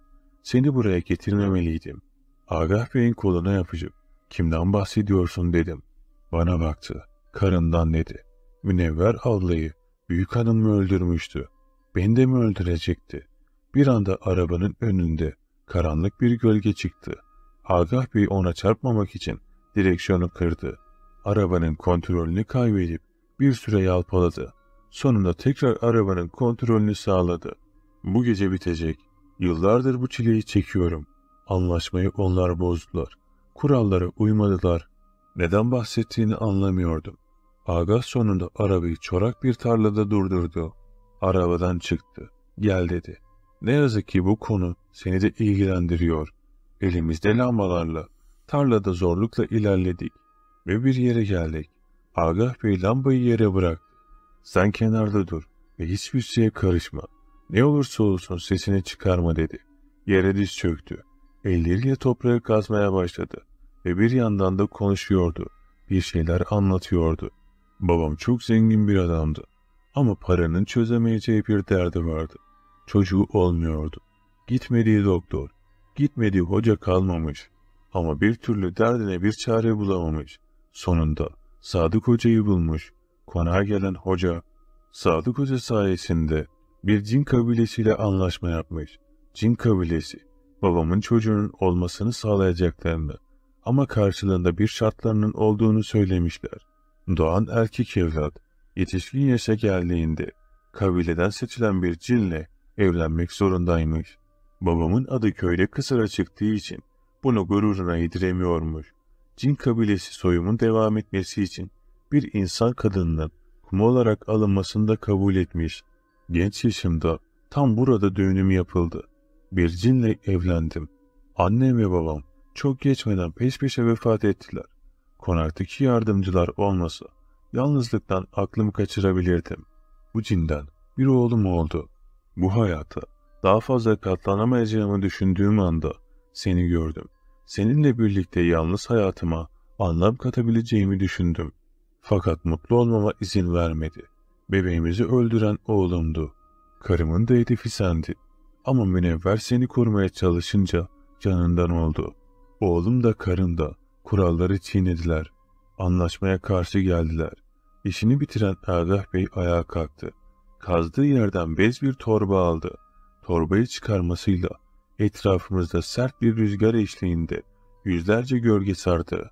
Karanlıkta onları seçmek çok zordu. Ama hemen önde duran iki koyu karartı sanki yere diz çökmüş gibi hareketsizce duruyorlardı. Onların kim olduğunu hemen anlamıştım. Onlar Cinniya ve oğluydu. Etrafımızı sarmışlardı. Korkuyla başımı eğdim. Agah Bey'in sesi titriyordu. Ama yine de dimdik ayaktaydı. Cinniya ve oğlum anlaşmayı bozdu. İnsan bebeğimin kanına akıttılar. Bir insanın kanını akıttılar. Bu anlaşma burada biter. Cinniyayı oğlumu alın diye sert bir şekilde bağırdı. Elindeki torbayı yere bıraktı. Lambalardan birini aldı. İçindeki gazı torbaya döktü ve ateşe verdi. Torba ateş aldığı anda gölgeler şiddetli bir şekilde çığlık atmaya, feryat etmeye başladılar. Sesleri korkunç bir uğultuya dönüşen gölgeler geceyi karışıp yok oldular. Gahbey olduğu yerde dizlerinin üzerine çöküp kalmıştı. Ölümü göze almış, onlarla olan anlaşmasını sonlandırmıştı. Her an düşüp kalacakmış gibi duran Agah Bey'in yanına koşup onu tuttum. Şimdi ne oldu? Her şey bitti mi diye sordum. Agah Bey derin bir nefes alıp yüzünü ovuşturdu. Karımı ve oğlumu alıp götürdüler. Bu onları son görüşümüz olmalı. Bu tarla babamdan bana kalan tarlalardan biri. Büyüyü buraya yapıp buraya gömmüşler. O günden beri bu tarla bir daha yeşermemiş. Buranın bereketi babama geçmiş ben doğmuşum. Sana olanlardan sonra Sadık Hoca'ya koştum. O da yıllarca yaptığı hatanın bedelini Cinnia'ya mukavemet ederek ödemişti. Ondan yardım istemek için gittiğimde öldüğünü öğrendim. Peki artık bizi rahat bırakacaklar mı diye sordum. Agah Bey elimi tutup hafifçe sıktı. Anlaşmanın kurallarını onlar bozdu. Kabileyle aramda hiçbir bağ kalmadı. Agah Bey bana tutunarak zar zor ayağa kalktı. Yüzünde buruk bir mutluluk vardı. Beraber arabaya bindik. Yola çıktık. Agah Bey konağa doğru değil, kasabaya doğru sürüyordu arabayı. Artık o konağa dönmek istemiyorum. Orada hiçbirimizin güzel anıları yok. Münevver'i defnettikten sonra Hacer abla ve Hikmet amcayı da aldıracağım. Yeni bir yerde, yeni bir hayata başlayacağız dedi. Şafak sökmüştü. Güneş doğuyordu. Yeni bir günle birlikte bizim için de yeni bir hayat başlıyordu. Bu hikaye burada sona eriyor. Şimdi diğer hikayeyi anlatıyorum. Adım Soner. Uzman çavuşum. Nevşehir'de görev yapıyorum. Kanalınızı uzun süredir takip ediyorum. Yaşadığım olayı anlatıp anlatmamak konusunda uzun zamandır düşünüyorum. Hikayede benim adımı kullanabilirsiniz. 28 yaşındayım. Nevşehir'de görev yaptığım süre zarfında basit olaylar dışında farklı bir olaya şahit olmamıştım. Genelde asayişe bakıyorum. Ayrıca köpek eğitmenliği de yapıyorum. Her zamanki gibi görevimin başındayken köpeklerin eğitimini tamamladıktan sonra odama çekilip istirahat edip çay içtiğim bir sırada kapı çaldı. Kapıdaki kişiye içeri gelmesini söyledim. Gelen erlerden biri olan Hasan'dı. Buyur Hasan dedim. Komutanım bir ihbar var. Alacaşar köyünden geliyor ihbar dedi. Hayırdır inşallah. Neymiş bu ihbar? Ne dertleri varmış diye sordum. Köyde iki çocuğun kayıp olduğu söyleniliyor komutanım dedi. Bu tip ihbarlar genellikle olurdu. Olay yerine gittiğimizde ya çocuklar bir yere gitmiş olur ya da bir akrabasının evinden çıkardı. Bu yüzden istirahatimin bölünmesi keyfimi kaçırsa da ihbara bakmak zorundaydım. Tamam Hasan, yanına Ali ile Metin de al, aracı hazırlayın, geliyorum dedim. Telsizimi alıp odamdan çıktım. Ben ve üç askerle birlikte Alacaşar köyünün yolunu tuttuk. Alacaşar, merkeze bağlı bir köy. Merkezle arası 10 kilometre kadar. Normal yoldan gidersek daha uzun süreceği için aracı kullanan Metin'e kestirme dağ yolundan gitmesini söyledim. Nevşehir'de dağ yolu, patiko yolu çoktur. Yolumuza devam ederken Ali'de bir gariplik vardı. Ali, Nevşehir'de doğup büyümüş, daha sonra İstanbul'a 13-14 yaşında göç etmiş birisi. Ballıydı yani. Vatani görevi. Doğup büyüdüğü şehre çıkmıştı. Fakat normalde bu kadar sessiz olmaz. Şen şakrak birisiydi. Hayırdır Ali, rahatsız mı ettik? Seni çağırmasa mıydım? Yolda iki muhabbet eder, güldürürsün bizi diye seni çağırdım dedim. Ali, yok komutanım, ondan değil. O köyle ilgili ama, neyse boş verin. İyiyim ben dedi ve sustu. Ne olmuş o köye Ali? Ben birkaç yıldır buradayım. Fakat sen burada doğup büyümüşsün. Sen daha iyi bilirsin buraları. Ne biliyorsun o köyle ilgili? İki çocuk kayıpmış. Bildiğin bir şey varsa söyle. Ona göre tedbir alırız dedim. Ali kemküm etse de ağzındaki baklayı çıkardı. Komutanım, ben Tepeköy'de doğdum. Çocukluğum Tepeköy'de geçti. Tepeköy, Acıgöl'e bağlı bir köy ama Alacaşar'a çok yakın bir köy. Çocukluğumda Alacaşar'la ilgili türlü hikayeler anlatılırdı. Köye yıllar önce kimsesiz dul bir kadın gelmiş. Kadının küçük bir kızı varmış. Başlarda kadın insanların içine karışıp o köyle iç içe olmuş. Fakat sonraları kadının büyüyle ilgilendiğini ve büyü yaptığını öğrenen köylü kadını dışlamışlar. Kadın evinden çıkmaz olmuş. Kızını da gören olmamış bir daha. Gel zaman git zaman. Köyde her sene iki çocuk kaybolur. Bir daha asla bulunamazmış. Köylü bu kadını ne kadar dövse de kadından şikayetçi olsalar da kadın köyden gitmemiş. Ne polis ne de jandarma kadının çocukları kaçırdığına dair hiçbir iz bulamamış. Bu hikaye çocukluğumda çok anlatılırdı komutanım. Şimdi siz Alacaşar'da iki çocuk kayboldu deyince aklım oraya gitti dedi. Ali, köylü dedikodusu olmasın. Bilirsin köy yeri. Bir laf, bin laf olur. Neyse sen rahat ol. Nedir ne değildir ortaya çıkar az sonra dedim. Dağ yollarından giderken Ali'nin anlattıkları bana köy dedikodusundan ibaret gelse de içimde tuhaf bir endişe uyandırmadı değil. Yolumuza devam ettik. Kısa bir süre sonra köye geldik. Köy meydanına geldiğimizde iki kayıp çocuğun ailesi telaş içindeydi. Çocukların anne ve akrabaları olduğunu düşündüğüm kadınlar ağlıyordu. Kalabalığın arasından muhtar yanıma geldi. Hoş geldiniz komutanım dedi. İnşallah hoş buluruz muhtar. Neler oluyor? Bir de senden dinleyelim olayın aslını dedim. Komutanım, bizim Tahir ve Mehmet'in oğulları kayıp. En son sabah evden oyun oynamaya diye çıkmışlar. Bu saate kadar da dönen olmadı dedi. Peki muhtar, köyden kimse görmemiş mi? Nereye gittiler? Ne gitmişler? Sormadınız mı dedim. Köyden görenler var. Dereye doğru gitmişler komutanım. Köyün her yerini aradık. Anladım. Allah korusun muhtar. Derede falan boğulmuş olmasınlar dedim. Muhtar biraz sıkıntılı bir yüz ifadesiyle komutanın derede boğulma değil de bizim burada derenin yanında bir değirmen var. Değirmenin yanında da o lanetin kulübesi var. Yine onun işi ama oraya gitmeye cesaret edemedik dedi. Ne laneti muhtar. Çocukların hayatı söz konusu. Ne var değirmenin orada diye sinirlenerek sordum. Oradaki kulübede yıllardır büyücü bir kadın yaşar. Onu gören olmaz. Arada dere tarafına giden olursa çok nadir dışarıda görürüz o kadını. Uzun zamandır gören olmamıştı onu. Gitti, kurtuldu diyorduk ama gitmedi demek ki. Bu çocukların başına da bir şey gelmese bari dedi. Muhtara, hemen bizi oraya götür dedim. Muhtar çekinerek de olsa sinirlendiğimi görünce önümüze düştü. Çocukların babaları, muhtar ve biz dere yönüne doğru koşar adımlarla hareket ettik. Yolda giderken muhtar bu kadından bahsetmeye devam etti. Köyün çobanı yıllar önce hayvanları bu değirmen tarafındaki alana otlatmaya götürmüş. Çoban orada hayvanların başında beklerken bir ağaca yaslanıp uyumuş. Köydeki herkes gibi çoban da o kadının ne uğursuz olduğunu bildiği için akşama kalmaz erkenden dönermiş. O gün uyuyakalınca saatin farkına varamamış. Uyandığında hava çoktan kararmış. Hayvanlar bir araya toplanmış. Köpeklerle birlikte çobanı bekliyorlarmış. Çoban aceleyle hayvanları katmış önüne. Değirmenin yanından geçerken kulübenin orada bir ateş yandığını görmüş. O mendebur kadın dışarıda ateşin başındaymış. Ateşin üzerinde çevirerek bir şey pişiriyormuş. Garip olansa kadının yanında bir sürü kara çarşaflı kişiler varmış.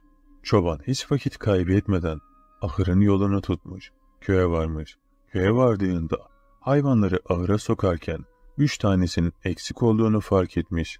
Bu telaşla hemen hayvanları aramaya koyulmuş. Tekrar dere tarafına varmış. Bu kez kadının kulübesinin önündeki ateş sönmüş. Kimsecikler yokmuş. Çoban rahat bir nefes almış. Hemen hayvanları otlattığı alana gitmiş. Çobanın yaslanıp uyuduğu yerde üç hayvanın kellesini görmüş. Çoban bu duruma hem çok üzülmüş hem de çok sinirlenmiş. Az önce kadının ateşin üzerinde bir şeyi çevirerek pişirdiği de aklına gelince deliye dönmüş. Hemen bir hışımla kadının kapısına dayanmış. Kadın kapıyı açmış açmasına ama kulübenin içinde kara çarşaflılar varmış. Çobanı bağlamışlar.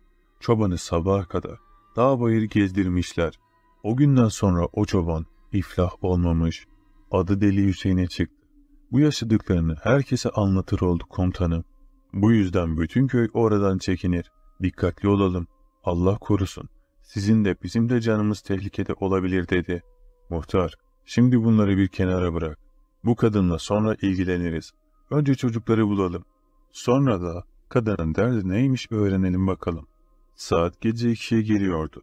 Hava iyice karardığı için el fenerleriyle kadının kulübesinin oraya doğru gidiyorduk. Kulübeyi yüksek bir yerden net bir şekilde görüyorduk. Kulübenin önünde ateş yanıyordu. Bismillahirrahmanirrahim. Allah'ım bu yaşıma kadar böyle bir şeyle karşılaşmadım. Ateşin başında gerçekten kadının etrafına toplanmış kara çarşaflı kişiler vardı. O kadının çirkin yüzü haricinde diğerlerinin yüzü birbirinin aynıydı. Sanki yüzlerine aynı maskeyi takmış gibiydiler. Bu manzarayı görünce muhtar ve çocukların babası telaşa kapılıp kaçmaya yeltendi. Hemen onlara sakin olmalarını, biraz izleyip duruma göre hareket edeceğimizi söyledim. Kadın olduğu yerden kalkıp kulübenin içine girdi. Merakla ve korkuyla onu izliyorduk. Evin içinden çıktığında kafalarına siyah torba kapatılmış iki tane kişiyle dışarıya çıktı.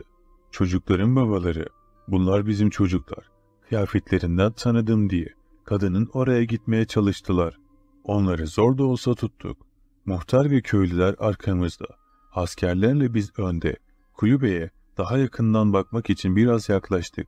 Askerleri, çocukların canını tehlikeye atmadan olumsuz bir durumda kadını vurmalarını söyledim. İki çocuğu ateşin başına boylu boyunca yatırdı. O gölgeler çocukların etrafında dönüyor. Kadın iki elini iki yana açmış, homurtulu çirkin sesiyle bir şeyler söylüyordu. Biraz daha yaklaşınca kadının elini görmeye başladım. İki elinde iki bıçak vardı. Kadın dizlerinin üzerine çöktü. İki çocuğun ortasında duruyordu. Korkunç şeyler olacağının farkındaydım. Kadın sözlerini bitirdi ve aynı kelimeyi tekrar etmeye başladı. Ali'ye baktım. Ali, atış eğitimlerinde hep full çeken, attığını gözünden vuran bir askerdi. Ali'ye kadını vurmasını, Metin ve Hasan'a diğer çarşaflılar hareket ederse onlara sıkmalarını söyledim. Korktuğum başıma geldi. Kadın tam çocuklara bıçağı saplayacakken Ali'ye şimdi diye bağırdım. Ali tek atışta kadını vurdu. Kadın yere devrilirken korkunç bir şey oldu. Ateş aniden söndü. Ateş söndükten sonra korkunç çığlık sesleri yükseldi. Daha sonra bu sesler de kesildi. O kargaşada el fenerlerinin gösterdiği ışıkla kulübenin oraya gittik. Fenerlerle etrafa bakınıyorduk. Allah'ım iki çocuktan başka kimse yoktu. Kadının yere düştüğünü hepimiz gözlerimizle gördük. Ne kadın vardı ne de çarşaflılar. Hepimiz çocukları sağ salim aldık diye mutluyduk. Ama gördüklerimiz hepimizi şok etmişti. Biz orada çocuklar iyi mi diye kontrol ederken ileride bir ateş yandı. Aman Allah'ım. Herkesi tir tir titreten o görüntü. Kendime zor hakim oldum. Kadın ve çarşaflı varlıkla yan yana dizilmiş öylece bize bakıyorlardı. Kadın çığlıklar atıyordu. Çok sinirli olduğunu görebiliyordum. Sonra tekrar ateş söndü ve kayboldular. Kendimizi zor da olsa toparladık ve köye geri dönmek için çocukları kucaklayıp yola çıktık. Dere yolu boyunca kadın ve çarşaflılar bizi takip etti. Belli belirsiz uzaktan bize baktıklarını görüyorduk. Nihayet köye vardık. Köylüleri, çocukları teslim ettikten sonra karakoldan bir ekip daha isteyip kadının peşine düştük. Gece olduğu için bölgede küçük çaplı bir arama gerçekleştirdik. Ne kadından ne de diğerlerinden bir haber yoktu. O gece için aramayı sonlandırdık.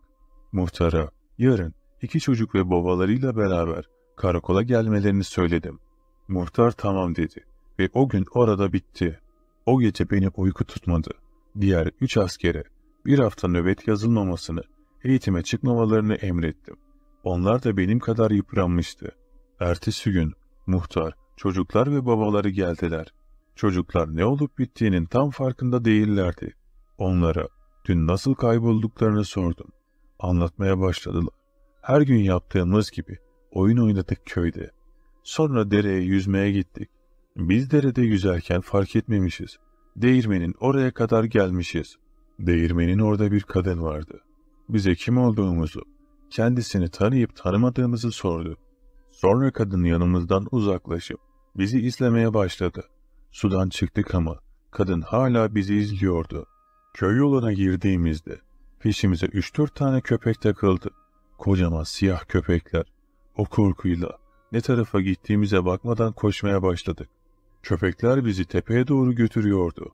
En son tepeden yuvarlandığımızı hatırlıyorum. Gözlerimizi açtığımızda köydeki evimizdeydik deyip anlatacaklarının bu kadar olduğunu söylediler. Çocuklar anlatacaklarını bitirdikten sonra dediğim gibi çocuklar ne yaşadıklarının tam farkında değillerdi. Babalarına o kadından şikayetçi olup olmadıklarını sordum. Çocukların babaları, komutanım, her şey oldu bitti. Ne olur daha fazla büyümesin bu iş diye hiç beklemediğim bir tepkide bulundular. Çok sinirlenmiştim. Muhtarla biraz da olsa onlara baskı yap. Ve şikayetçi oldular. Gerekli izinleri alıp kadının kulübesine arama yapmaya gittik. Kulübeye gittiğimde ikinci bir şok daha yaşadık. Kulübenin içinde hiçbir şey yoktu. Sanki kulübe yıllardır kullanılmıyor gibi boştu. Çevrede yaptığımız onca aramaya rağmen kadını bulamadık. Köy halkını gitmeden uyardık. Kadını gördükleri yerde bize ihbar etmelerini söyledim. Bu olayın üzerinden belli bir zaman geçtikten sonra kadını ara ara gördüğünü ihbar edenler oldu ama bu ihbarlara gidip baktığımızda o kadına dair hiçbir iz bulamadık. Bu olanlar o bölgede dilden dile dolaştı. Fakat benim görev yaptığım sürede şükürler olsun ki bir daha çocuk kaybolmadı. Anlatacaklarım bu kadar. Bu hikaye burada sona eriyor. Şimdi diğer hikayeyi anlatıyorum. 1985 Zeyniler Köyü Hayatım boyunca hiç bu kadar soğuk ve sert geçen bir kış görmemiştim. Bu gece daha da soğuk ve ürperticiydi. Dışarıdaki soğukluk içeriği buz kesmişti. Cama gelen kar taneleri hem beni ürkütüyor hem de huzur verirken kapının önündeki ağaçlarımızın dalları ise kapıya vurup ses çıkarıyor. Bu da ürkmeme neden oluyordu. Korkmuyordum. Sadece gergindim. Kafamı sobaya çevirdim ve kaynamış olan suyumu bir leğene döküp üstüne biraz soğuk su ve biraz da tuz ilave ettim. Ayaklarımı içine koydum. Suyun sıcaklığı o kadar iyi gelmişti ki bütün soğuk ve gerginlik sanki ayaklarıma kadar çekilip oradan da kaybolmuştu. Sıcak suyun verdiği rahatlık ile kafamı geriye attım ve direkt uykuya daldım. Sabah uyandığımda dünkü gecenin ne karı kalmıştı ne soğuğu. O kadar şaşırmıştım ki size bunları anlatamam. Hemen sakince mutfağa yöneldim. Soframı kurdum ve besmele çektim. Birden sağ ve sol taraftaki sofra bezinin kısımları havalandı. Göz yanılması oldu diye düşünerek aldırış etmedim. Yemeğime devam ettim. Sofrayı kaldırdım. Evi toparladım ve köy meydanındaki kahvehaneye doğru yol aldım. Bir sandalye çektim ve çay istedim. Çayım geldi ve karşıdan en yakın dostum hatta kan kardeşim olan Aras geldi. Selamını verip yanıma oturdu. Yüzü bembeyaz, gözlerinin altı ise mosmordu. Ona dönüp gülerek ne oldu dün dışarıda soğukta mı yattın dedim. O da bana şaşkın bir biçimde bakarak ne soğuk kardeşim dün hava çok güzeldi dedi. Şaşırdım hem de çok fazla şaşırdım. Daha dün sanki gök yarılmış gibi kar yağdı. Soğuk vardı. Anlam veremedim. Rüya zannettim bu olanları ve çayımı içip tarlama doğru yola koyuldum. Ben çapamı küreğimi, benim köpeğim Karabaş'a emanet ederdim. Tarlaya yaklaştıkça içim daralıyor, hava kasvetli bir hal almaya başlıyordu. Ortalık sessizdi, hatta fazla sessizdi. Anlam veremiyordum. Tarlaya iyice yaklaştım. Yerde kan gördüm. Ürktüm sonrasında. Karabaş yine ne yedin Allah bilir diyerek yola devam ettim. Ama karşılaştığım şeyle şok oldum. Karabaş'ın kafası koparılmış ve kazmanın üstüne dikilmişti. Kazma, kürek ve tırpan üçgen şekilde tarlanın ortasına dikilik bir vaziyette duruyordu. Köpeğimin geri kalan bedeni ise Yerde oluk oluk kan içinde duruyordu. Gözlerim doldu. Bağırarak köy meydanına indim. Herkese küfürler savuruyordum. Kendime hakim olamıyordum. Karabaş altı senedir benimleydi. Öldüğüne inanamıyordum. Onu bu hale getiren adamı bulup öldürmek istiyordum. Aras koşarak yanıma geldi. Beni sakinleştirdi. Sonra beraber tarlaya doğru yol almaya başladık. Yolda kan kokusu artmıştı. Çok yoğun ve pis bir koku vardı. Onu o halde görmek gerçekten beni derinden etkilemişti. Sessizliği Aras bozdu. Üzülmemem gerektiğini söyledi. Tarlanın tam önündeydik. Onu o halde görmeye dayanamadım ve arkamı döndüm. Aras bana seslendi birden. Çabuk buraya gel. Koşarak yanına gittim. Yerdeki şekli gösterdi. Kanla çizilmişti şekil. Size şekli anlatmam gerekirse, ortada bir üçgen, içinde ateşe benzer bir simge, halka ile çevrili, sonra bir halka daha, bir halka daha ve halkanın üstünde Lemon Cinnia yazıyordu. Bana hemen bir hoca çağırmamız gerektiğini söyledi. Fakat bir sorun vardı. Bizim köyde hiç hoca yoktu. Daha doğrusu dinle uğraşan biri dahi yoktu. Civar köylere gitmem gerekirdi. Ama buraya en yakın köy 3 saatlik mesafedeydi. Aras bana dönüp Cihran hocayı çağır bana çabuk dedi. Adresini aldım ve köye doğru koşmaya başladım. Yolda giderken düşündüğüm iki şey vardı. Birincisi Aras neden bu kadar telaş yapmıştı? İkincisi ise bizim köyde gerçekten bir hoca var mıydı? Ev köyün dışında kalıyordu. Vardım. Karşıma iki katlı bir ev çıktı. Ev normal tipik bir köy eviydi. Kapıya yöneldim ve çaldım. 6-7 kere çaldıktan sonra kapı açıldı ve içeriden yaşlı bir dede içeriye gel diye bana seslendi. İçeriye girdim. Odada mum ışığı vardı. Beni karşısına oturttu ve gözlerime bakıp seni kim gönderdi dedi. Aras dedim. Çok korkmuştum. Uzaktan bakınca gözleri simsiyahtı. Teni ise bembeyaz. Korkutuyordu bu adam beni. Ayaklandı ve hadi gidelim dedi. Biz yola çıktık. Saati bilmiyordum. Ama akşam olduğu kesindi. Tarlaya ulaştık ve devam ettik. Aras hala Karabaş'ın kafasını inceliyor, kendi kendine söyleniyordu. Aras'ın yanına vardık. Aras arkasını dönüp hocanın elini öptü ve ona bir şeyler söyledi. Hoca Karabaş'ın kafasının yanına gelip ağzını elleriyle açtı. Biraz bakıp elini içine soktu. Kanlar içinde elini çıkardı ve elinde bir muska tutuyordu. Bana bir bıçak verin dedi. Tarlanın ortasında bıçağı nereden bulacağım diye düşünürken sonrasında elimi istemsizce cebime götürdüm. Bir farklılık vardı. Cebimde sert, ince bir şey vardı ve ıslaktı. Elimi cebime attım ve cebimden çıkan kanlar içinde olan bir bıçaktı. Hocayla göz göze geldik. Onu bana ver dedi bağırarak. Milal hakkı cinniya dedi. Ve bıçağı muskaya sapladı. Birdenbire Karabaş'ın kafası küle döndü. Muskanın kesik yerini yırttı ve içinden top gibi bir şey çıkardı.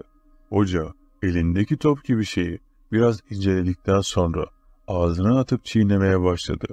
Bunu yaparken garip şeyler söylüyordu ve hoca birden kan kusmaya başladı. Gözleri iyice siyahlaştı ve yeşil damarları iyice belirginleşti.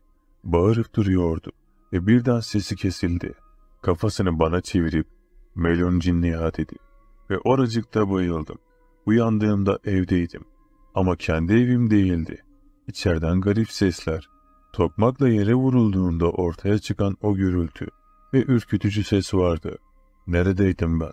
Bunların yanında içeride ağır bir koku vardı. Yataktan doğruldum. Kapıyı açtım. Salonda hoca oturuyordu. Ona doğru ilerledim ve kafasını bana çevirdi. Kafasıyla yeri gösterdi. Karabaş'ın bedeninden kalan parçaları çekiç ile eziyordu. Oturmamı söyledi. Karşısına oturdum. Büyü yata cinler ile uğraşıp uğraşmadığımı sordu. Hayır dedim. Peki ailen dedi. Aslında abim bu işlere meraklıdır diye cevap verdim. Bu köpeği sana kim verdi dedi.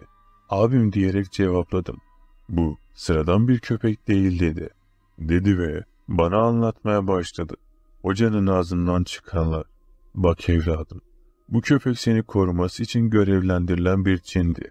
Fakat onu kim öldürdüyse gerçekten güçlü ve affı, kibir ve merhameti olmayan bir cin, abin bir cini hapsetmeye çalışmış ve bunu başarmıştı. Fakat o intikam için geri geldi. Abin şu an nerede? Abim İstanbul'a gitti. Altı yıldır görmedim. Başlarda arada sırada gelirdi. Ama gelmeyi tamamen kesti. Abim onu neden lanetlesin ki? Ve bunu nasıl başardı? Ben bunları düşünürken hoca kağıtlara bir şeyler yazdı. Onları bakır bir tepsiye koydu. İçine su döktü ve et parçalarını da koydu. Kibritini yakıp, ''Ey Allah'ın kulu olan Lemus, onun huzuruna dön.'' diye bağırdı ve kibriti tasa bıraktı.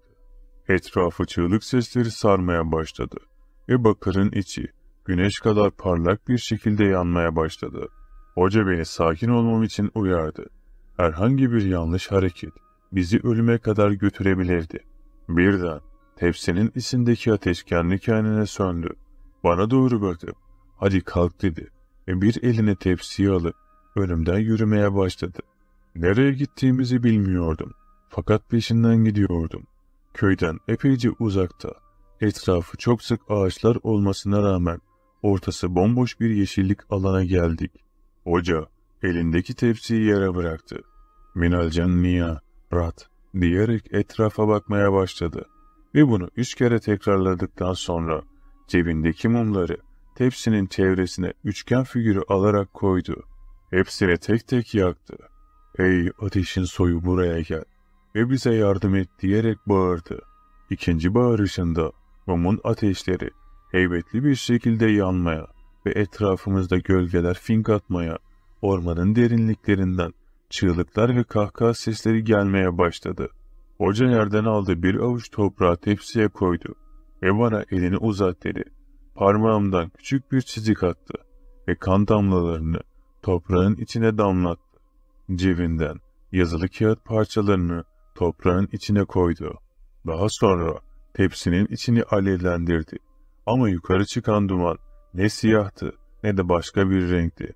Duman çıkmıyordu. Hoca bir şeyler okumaya devam etti. Yanan ateş birden yukarıya püskürdü. Az önce yaktığı kağıtlardan biri yanmış bir şekilde önüne düştü.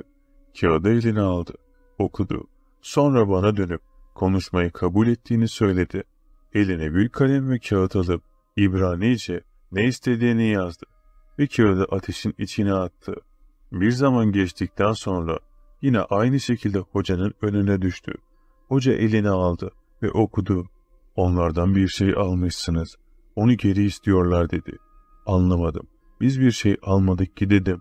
Hoca ne istiyorsunuz yazdı ve tekrardan ateşin içine attı. Biraz zaman geçtikten sonra yine hocanın önüne düştü. Alıp okudu. Yüzü buz kesti. Hocaya ne olduğunu sorduğumda bana can istediklerini söyledi ve birden tepsinin içindeki ateş patladı. Parçaları etrafa sıçradı. Gölgeler daha da yakınlaşmaya, çığlık sesleri artmaya başlamıştı. Hoca ayağa kalkıp, Aris, Melun Cinniya diye bağırdı. Etraftaki sesler kesildi. Gölgeler ise bir bir yok olmaya başladı. Hocanın yüzüne alev parçaları isabet etmişti ve kanıyordu. Ama kanı kırmızı değil, simsiyah akıyordu. Hoca bitkin düştü. Yere yığılmak üzereyken tuttum onu. Omzuma aldım. Onunla beraber geldiğimiz yolu geri gittik. Sonunda eve vardım. Fakat garip bir şeyler vardı. Hocanın evinin içinden ışık geliyordu. İçeri girdik. Hocayla salona geçtik ve gözlerime inanamadım. Abim karşımdaydı. Bana sarıldı ama ben aynı tepkiyi ona veremedim. Çünkü bu imkansızdı. Ona bağırdım çağırdım. Niye bu zamana kadar aramadın sormadın diye ağlamaya başladım. Abim hocaya dönüp ne yapıyoruz dedi. Hoca ise çok güçlüler. Onlarla on sene baş ettik ama artık edemeyiz dedi. Abime dönüp sen hocayı nereden tanıyorsun dediğimde her şeyi bana anlatmaya karar verdiler. O zamanlar hocayla yeni tanışmıştık. Beni biliyorsun. Hep böyle şeylere ilgi duyardım. O da bir hocaydı sonuçta. İlmi vardı. Bana çok şey öğretti. Biz bu ilmi kötüye kullandık. Bir cinden yardım alarak define bulduk. Cin bizden çıkan altının yarısını istedi. Sonuçta ikimiz de hocaydık. Altını vermek yerine onu lanetledik. Ama bunu yapmak yetmedi. İlk üç yıl rahattık. Hoca parayı istemedi. Bende kaldı. Sakladım harcamadım. Çünkü define bir cinni tarafından yardım alınarak çıkarılırsa dört yıl harcamamalıydık. Üç yıl hiçbir şey olmadı. Ama dördüncü yıl çok zordu. Her rüyamda aldığımız altınları yutarak ölüyordu ve o beni izliyordu. Sonunda koruyucu bir cine ihtiyaç duyduk. Bunun aileme de musallat olacağını bildiğim için sana karabaşı verdim. Bir şeylerin ters gittiğini anlayıp buraya geldim. Ne yapmam gerektiğini anlayamıyordum ama bu olanları duyduktan sonra tek güvendiğim kişi hocaydı. Ona dönüp ne yapmamız gerektiğini sordum. Bizi Bodrum'a indirdi. Abim cebinden bir poşet kül çıkardı. Sanırım bu onun kuşunun kafasının külüydü. Hoca da karabaşın küllerini çıkardı ve benden bir tutam saç, bir ayak tırnağı istedi ve abimden ise bir tutam saç, bir adet el tırnağı ve abimle ikisi gereken otları toplamak için evden çıktı. Ben evde yalnız oturuyordum.